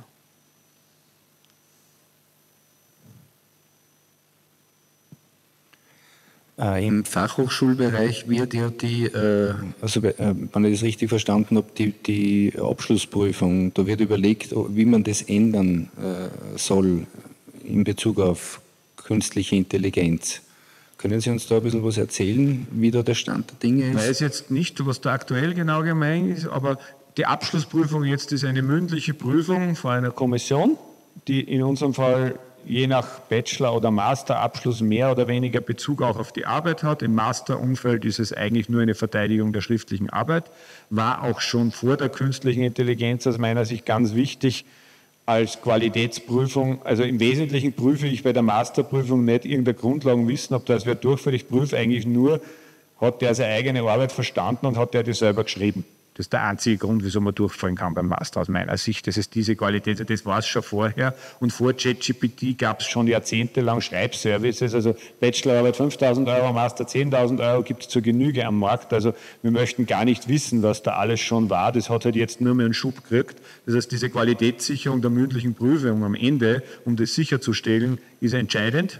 Und ich bin Pragmatiker. Wenn, wenn, wenn ich am Ende eine Arbeit abprüfe und das verstanden kann, man alles erklären, selbst wenn ich wüsste, dass sie mit so einem System oder unterstützt geschrieben wird, wäre es dann für mich okay. Weil es ist angekommen, es ist verstanden, das sonst den Rest will ich gar nicht mehr wissen. Wenn das allerdings mühselig selbst geschrieben wurde und mir nicht einmal die Grundlagen erklären kann, habe ich auch schon gehabt, fahre ich trotzdem durch. Das Ziel nicht erreicht ist ja. Da ist es mal relativ wurscht, wie es entstanden ist, aber ich will, dass das da ist. Was mich jetzt interessiert ist, ähm, muss man das jetzt kennen in der Zukunft, wie das Bedienen eines Taschenrechners, wie Office, Excel, weiß ich nicht, dass man da, weil das einfach die Zukunft ist, muss ich das einmal kennen, dass ich Prompts brauche oder kann ich das auch mehr oder weniger ignorieren für mein zukünftiges Leben? Ich muss nur wissen, dass es gibt, aber, aber muss ich das einmal irgendwann einmal kennen, dass ich das, weil um das geht's. Es wird in sehr vielen Software. Wenn ich, sagen wir mal so, wenn ich irgendwo mit Software im digitalen Bereich zu tun habe, ist es mal was anderes, als wenn ich irgendwo äh, im Hintergebirge als Holzfäller arbeite. Ja? Man muss einmal von der Berufssituation unterschiedlich sein. Wenn ich aber mal sage, ich bin in diesem digitalen Umfeld, ich habe mit Software zu tun, werde ich in sehr vielen, werden nicht so viel mehr neue Software-Systeme hinzukommen. ChatGPT ist ist, eine, ist keine Gebrauchstechnologie, ist ein Demo. Ja? Aber diese Technologie wird jetzt und ist dabei in sehr vielen anderen Software-Systemen zu erscheinen, siehe Office. Und was ist so ein Copilot, heißt er dort, ich habe eine Möglichkeit, via Sprache zu schreiben, was ich tun möchte, statt dass ich durch die Menüs klicke und es mir zusammenklicke und mit der Software ist einfach eine zusätzliche weitere Art, Software zu bedienen mit natürlicher Sprache. Es bleibt mir dann überlassen, ob ich das machen möchte. Der eine klickt lieber, so wie auf einer Webseite gibt es Leute, die lieber die Suche benutzen und welche, die sie durch die Menüs klicken, weiß man. So ist es halt da. Es ist eine andere zusätzliche Art und Weise, mit Software zu kommunizieren, die manchmal aber sehr effektiv ist. Wenn ich es ganz verneine, glaube ich, verbaue ich mir einfach eine Effektivität, aber der eine wird es mehr nutzen wollen, der andere weniger. Wird in vielen Software-Systemen einfach so oft. Wir haben uns im, im äh, Zuge der Vorbereitung der pädagogischen Konferenz äh, äh, eine Liste von Tools angesehen ja, und haben halt da gesehen, dass es für jeden Bereich mittlerweile schon KI-Tools gibt und, und, natürlich genauso auch für den kaufmännischen Bereich. Und äh, äh wir sind KI-Pilotschule, wir sind bei dem Projekt vom Bundesministerium dabei und da werden wir Lizenzen bekommen für verschiedene KI-Software-Pakete. Welche, das wissen wir noch nicht. Da haben wir noch keine Rückmeldung bekommen, aber da wird wahrscheinlich oder wäre wahrscheinlich auch ein, ein kaufmännisches Tool dabei sein. Wenn man den ganzen Toolwald sieht und so viele, muss man mal sagen, grundsätzlich gibt es 100.000 Chat-Tools und so weiter. Die darunterliegenden Systeme und Technologien sind meistens sehr wenige von verschiedenen Anbietern. Es ist wichtig, glaube ich, auch in der Bildung zu vermitteln, wie Erstens, wie man mit diesen Grundsystemen umgeht, aber auch, wie sie dahinter funktionieren, aber nicht, wie das einzelne Tool zu klicken ist, sondern äh, wie funktioniert jetzt ein Bildgenerator generell und wie, wie, wie, was heißt das beim Prompting, wie genau muss ich spezifizieren, aber wie, wie errechnet das Bild, aus welchen Daten wurde das trainiert. Also diese, diese Fertigkeiten würde ich als Allgemeinwissen dahinter gerne sehen und ob das jetzt dann mit Journey Dali oder sonst was ist, ist mir eigentlich wieder relativ egal, weil das wird nächstes Jahr schon wieder anders sein. Also genauso wie man nicht Word unterrichten sollte, sondern Textverarbeitung, ist es halt da einen gewissen Abstraktionslevel zu haben, weil die Tools gibt so viel, so viel unterschiedlich sind die dann halt auch nicht. Ja.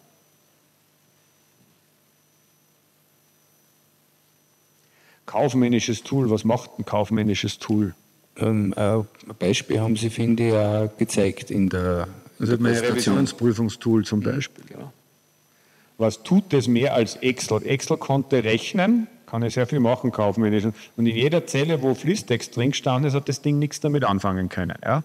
Jetzt habe ich ein Sprachmodell, das kann offensichtlich mit dem Text auch was anfangen, mit Zahlen auch. Und damit kann es offensichtlich eine Liste durchprüfen und schauen, welche Buchungen sind vielleicht auf ein Privatkonto gegangen bei einer Prüfung. Aufgrund der textuellen Dinge, wenn dort äh, drinnen steht im Text, äh, Flug mir für meinen Sohn nach Australien in der Firma verbucht, wenn man das reinschreibt, dann würde ein Sprachmodell entscheiden können, dass das ein Kandidat ist für eine Privatbuchung und bitte prüfen weil es den Text versteht. Excel hätte das nicht gekonnt. Könnte nur sagen, das ist eine auffällige Buchung, weil die Höhe der Summe über einen gewissen Wert ist. Solche Regeln gab es eh immer. Jetzt wird halt einfach die Sprache interpretierbar, der Text. Und das machen diese Tools dann. Auch nicht unnützlich in dem Fall. Oh.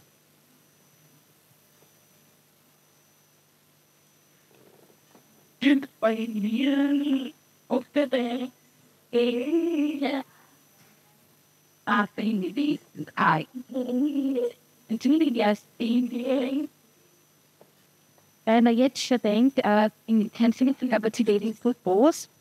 Und da ist im Vergleich mein Fassungsvermögen sehr niedrig. Und da sind wir noch eine Generation, die ja. bereit war, alles zu lernen, uns Fachwissen anzueignen, wo ja die Schüler jetzt sagen, wozu? Das sagt eh die Maschine. Aber sie können dann überhaupt nicht einschätzen, was da rauskommt, ist das richtig. Aber wie vermittle ich das wirklich und eben auch, können wir das irgendwann noch abchecken?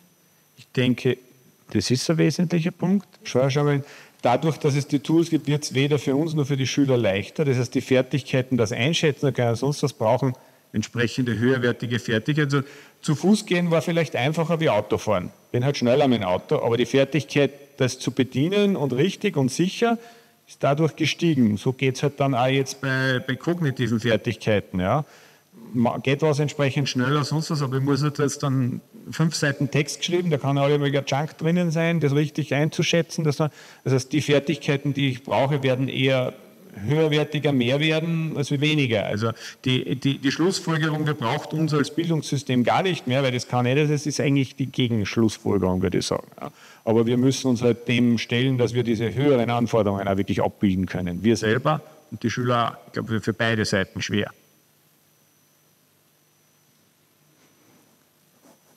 Ich wollte eigentlich da zu dem nur sagen, äh, noch zu dem, also können wir das alles überprüfen. Ähm, mein Taschenrechner, dem habe ich immer geglaubt. Der hat auch immer, da habe ich mich verlassen können, hundertprozentig. Wenn die das eintippt und der richtig eintippt, dann hat er richtig gerechnet. Und bei dieser Technologie ist es halt mit großer Wahrscheinlichkeit so, dass das, was rauskommt, kein Blödsinn ist, aber halt nur mit großer Wahrscheinlichkeit. Und ich denke mal, die Wahrscheinlichkeit wird höher werden, dass das, was rauskommt, kein Blödsinn ist. Äh, aber so hundertprozentig sicher wird es halt nicht werden. Ja, das ist ganz ein wichtiger Punkt, das auch zu unterstreichen. Da unterscheiden sich die Taschenrechnertechnologie von dem. Das muss uns völlig bewusst sein. Und das schränkt die Möglichkeiten ein, wo wollen wir was wie einsetzen. Äh, ich bringe jetzt extreme Beispiele. Sagen wir, wir wollen es für Gerichtsurteile einsetzen, wo ein Todesurteil dahinter steckt. Haben wir nicht. Da muss ich mir sehr genau überlegen, ob die Restwahrscheinlichkeit, dass das äh, doch falsch ist, ob ich das gesellschaftlich in Kauf nehmen möchte. Oder aber ich möchte vielleicht ähm, beim Computertomographen ein Bild auf Krebs prüfen und ich weiß, dass das 2% Fehler macht. Wenn mein Hausarzt 3% Fehler macht, bin ich bereit, das Risiko zu gehen, weil ich einen Gewinn habe. Also es sind beides Extreme, weil wir zeigen, ich muss mir von Art der Anwendungen sehr genau überlegen, was, was will ich, was, was an, ähm, wie gehe ich mit dieser Unzulänglichkeit und mit dem, mit dem um, wo ist, es, wo ist es vertretbar? Und da ist halt manchmal der Vergleich nicht kein Fehler, sondern hieß es in dem Fall besser als wie menschlich. Wenn ich in der Rechnungsprüfung auch welche Buchungen übersehe und sage, es übersieht man aber weniger als die menschlichen Prüfer, dann setze ich das Unternehmen ein, auch wenn es nicht null ist. Sind es aber Fälle, wo ich definitiv keine Fehler erlauben kann oder will,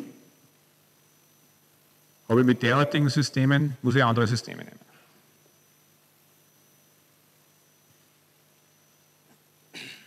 So. Ja, ich wollte da noch was zu der Maria, ihre Frage sagen. Das ist jetzt wieder Mathematikunterricht. Äh, 1995 habe ich bei der Matura Mathematik eine Seite Integral runtergerechnet, eine Seite ein Differential. Und jetzt hat sich die ganze Aufgabenstellung in der Mathematik halt komplett geändert. Man muss halt interpretieren, äh, Werte, wenn da jetzt rauskommt, in meinem Glas sind 3,5 Hektoliter drinnen, dann sollte es dem Schüler klar sein, dass sich das nicht ausgeht. So kann ich rechnen, wie ich will. Und so werden sich halt auch die ganzen äh, Fragestellungen und Aufgabenstellungen in anderen Fächern, das hat sich ja schon in anderen Fächern auch geändert, dass halt nicht mehr f von x ist gleich x hoch 5 minus 3x plus 27 zum Runterintegrieren ist mit der Hand, sondern es wird halt dann auf einen Knopfdruck das Integral berechnet und dann heißt es halt, was heißt das jetzt? Und Partialbruchzerlegung waren immer Richtig. Ja, ja, und es ist, und es ist, ja, das, das Interpretieren und das Schätzen und das, das wird halt in, bei uns in der Mathematik und in, genauso in der Wirtschaft auch wichtig werden, dass man das abschätzt, ob das jetzt sich ausgeht beim Herrn Banker oder nicht. Und ich denke, wir haben schon in der Vergangenheit einen mathematischen Analphabetismus gehabt, überzeichnet formuliert. Der kann dann so ein Integral ausrechnen und kann nicht einschätzen, ob jetzt zwei Drittel oder sieben, äh, vier Siebtel größer ist oder so. So was haben wir alles erlebt. Und das ist einfach, indem diese mechanischen Fertigkeiten über verstärkt, beton, verstärkt betont worden, das auszurechnen. Hat man, glaube ich, viel zum Besseren gewendet. Also ich, ich der am Beginn der 80er Jahre in die Schule gegangen ist, da war es noch ganz anders.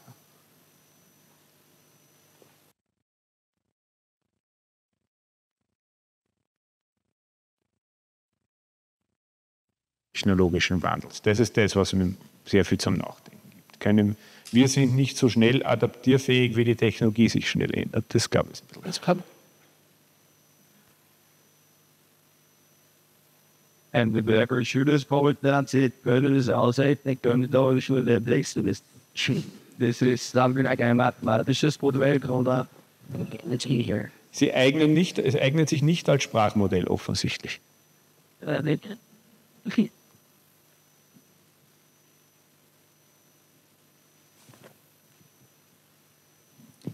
gibt es Studien, Analysen und Einschätzungen, wie das Lernverhalten von, Schüler, von Schülern beeinflusst wird? Kann ich keine Auskunft geben, kenne ich nicht, habe ich mich nicht, das habe ich nicht mit beschäftigt.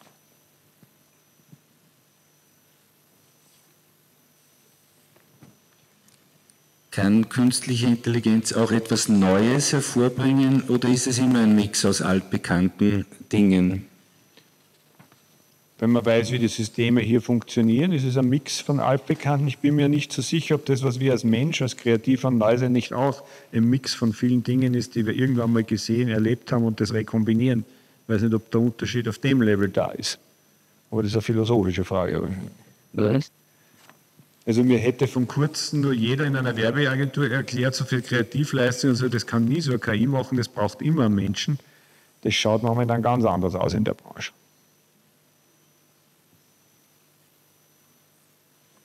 Apropos Mensch, da hätte ich auch noch eine Frage, weil Sie vorher gesagt haben, bei diesen Trainings, verschiedenen Trainingsstufen, dann auch wenn so sozial gewünschte Antworten, moralische, was würde ein Mensch wollen, äh, wo Sie gesagt haben, ähm, das müssten dann Menschen auswählen, welche Antwort sie haben. Wer macht das? Was sind das für Menschen? Wo wird das gemacht? Also bei OpenAI war das ja mal eh in der Presse, wie es rausgekommen ist, dass die sogenannte Clickworker irgendwo auf der Welt in Kenia oder wo verwendet haben, billige Arbeitskräfte, die nach gewissen Protokollen das durchklicken mussten und so weiter, das zu tun, heißt natürlich wieder, dass ich die Meinungen und die vorherrschenden Dinge genau von dieser Gruppe Leute, die ich habe, vielleicht ins System übertrage. Ja.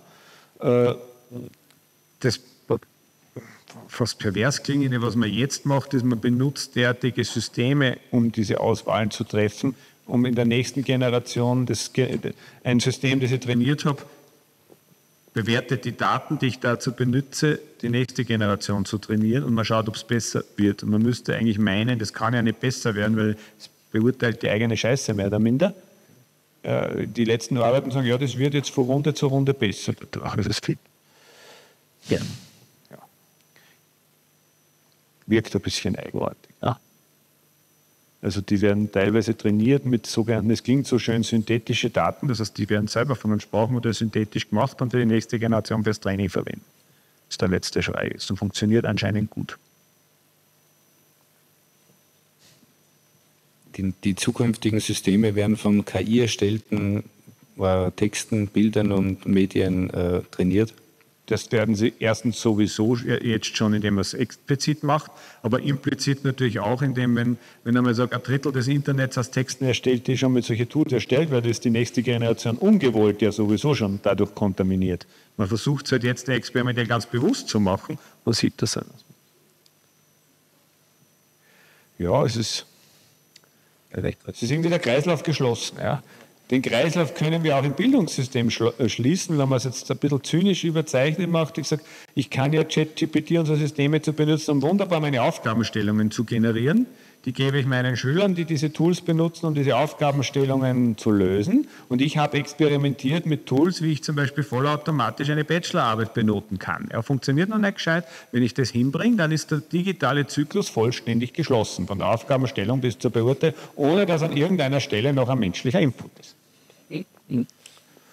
Ja, bauen wir trotzdem an.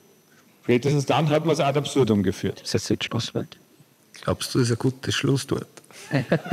Nein, ich würde gerne. Das ist jetzt ChatGPT geworden, würde ich sagen.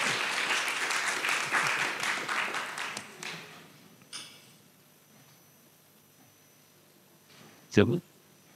Schön. Haben wir noch was? Ähm, ja, ähm, vielleicht noch Datenschutz. Also ähm, wenn wir die Systeme mit unseren Fragen, Informationen füttern, äh, verstoßen wir, äh, verwenden wir ein amerikanisches System oder nicht-europäische Systeme. Muss nicht sein. Muss nicht sein, ja. Wir an der FH benutzen ein nicht in die USA gehendes System zum Beispiel. Ist kein großes Thema. Kann das überall haben in der Welt, wo ich haben will. Ja, ist dann, äh, dann sind wir wahrscheinlich auch bei einer Kostenfrage. Und wir in der Schule haben relativ wenig Budget frei. Das ist keine große Frage, demnächst überall. Also das ist das Thema Standort und sonst ist so gut wie gelöst. Also das ist kein Thema mehr. Die Frage ist aber damit nicht ganz gelöst. Und nur weil das jetzt, sage ich mal, in einem Rechenzentrum in Europa liegt beim Konzern, ist es dann, zwar bin ich dann zwar DSVGO-konform, möchte ich das trotzdem, das ist ja damit auch nicht gelöst, ja. Wenn ich das dann wirklich lokal nur auf meinem Gerät habe, ist es wieder ganz ein anderer Level. Also ja, also diese Art Datenschutz mit Datenweitergabe, glaube ich, ist kurzfristig kein großes Problem. Die Problematiken und Dinge, die man hat, wir haben ja jetzt gerade, wird heute oder morgen EU-Act verabschiedet, glaube ich. Da ist es ja die große Frage, welche Art KI-Technologie in welchem Bereich zulässig ist, wo wie gefährlich, mit Gefährlichkeitsklassen. Ja das Problem, das man dort hat, bis das, das wirksam ist, über die Jahre und eingesetzt, hat sich die Technologie weiterentwickelt, dass es wahrscheinlich wieder ein Problem wird, wenn es anwendbar ist. Das wird die große Problematik. Wo man sagt, okay, wir wollen keine Gesichtserkennung in Kameras, weil das kann, was ich, für Social Calling verwendet werden, aber wir wollen auch das und das wollen wir. Man hat alleine schon bei der Beschlussfindung für den EU-Act gemerkt, dass auf einmal sich begonnen hat, bei manchen Regulierungsdinge zu Sprachmodellen Frankreich querzulegen. Wir wussten, weil ein französisches Startup dabei war, ein gutes System zu entwickeln. Das war der Grund, wieso sich Frankreich quergelegt hat. So ist es natürlich immer von Einzelinteressen auch getrieben.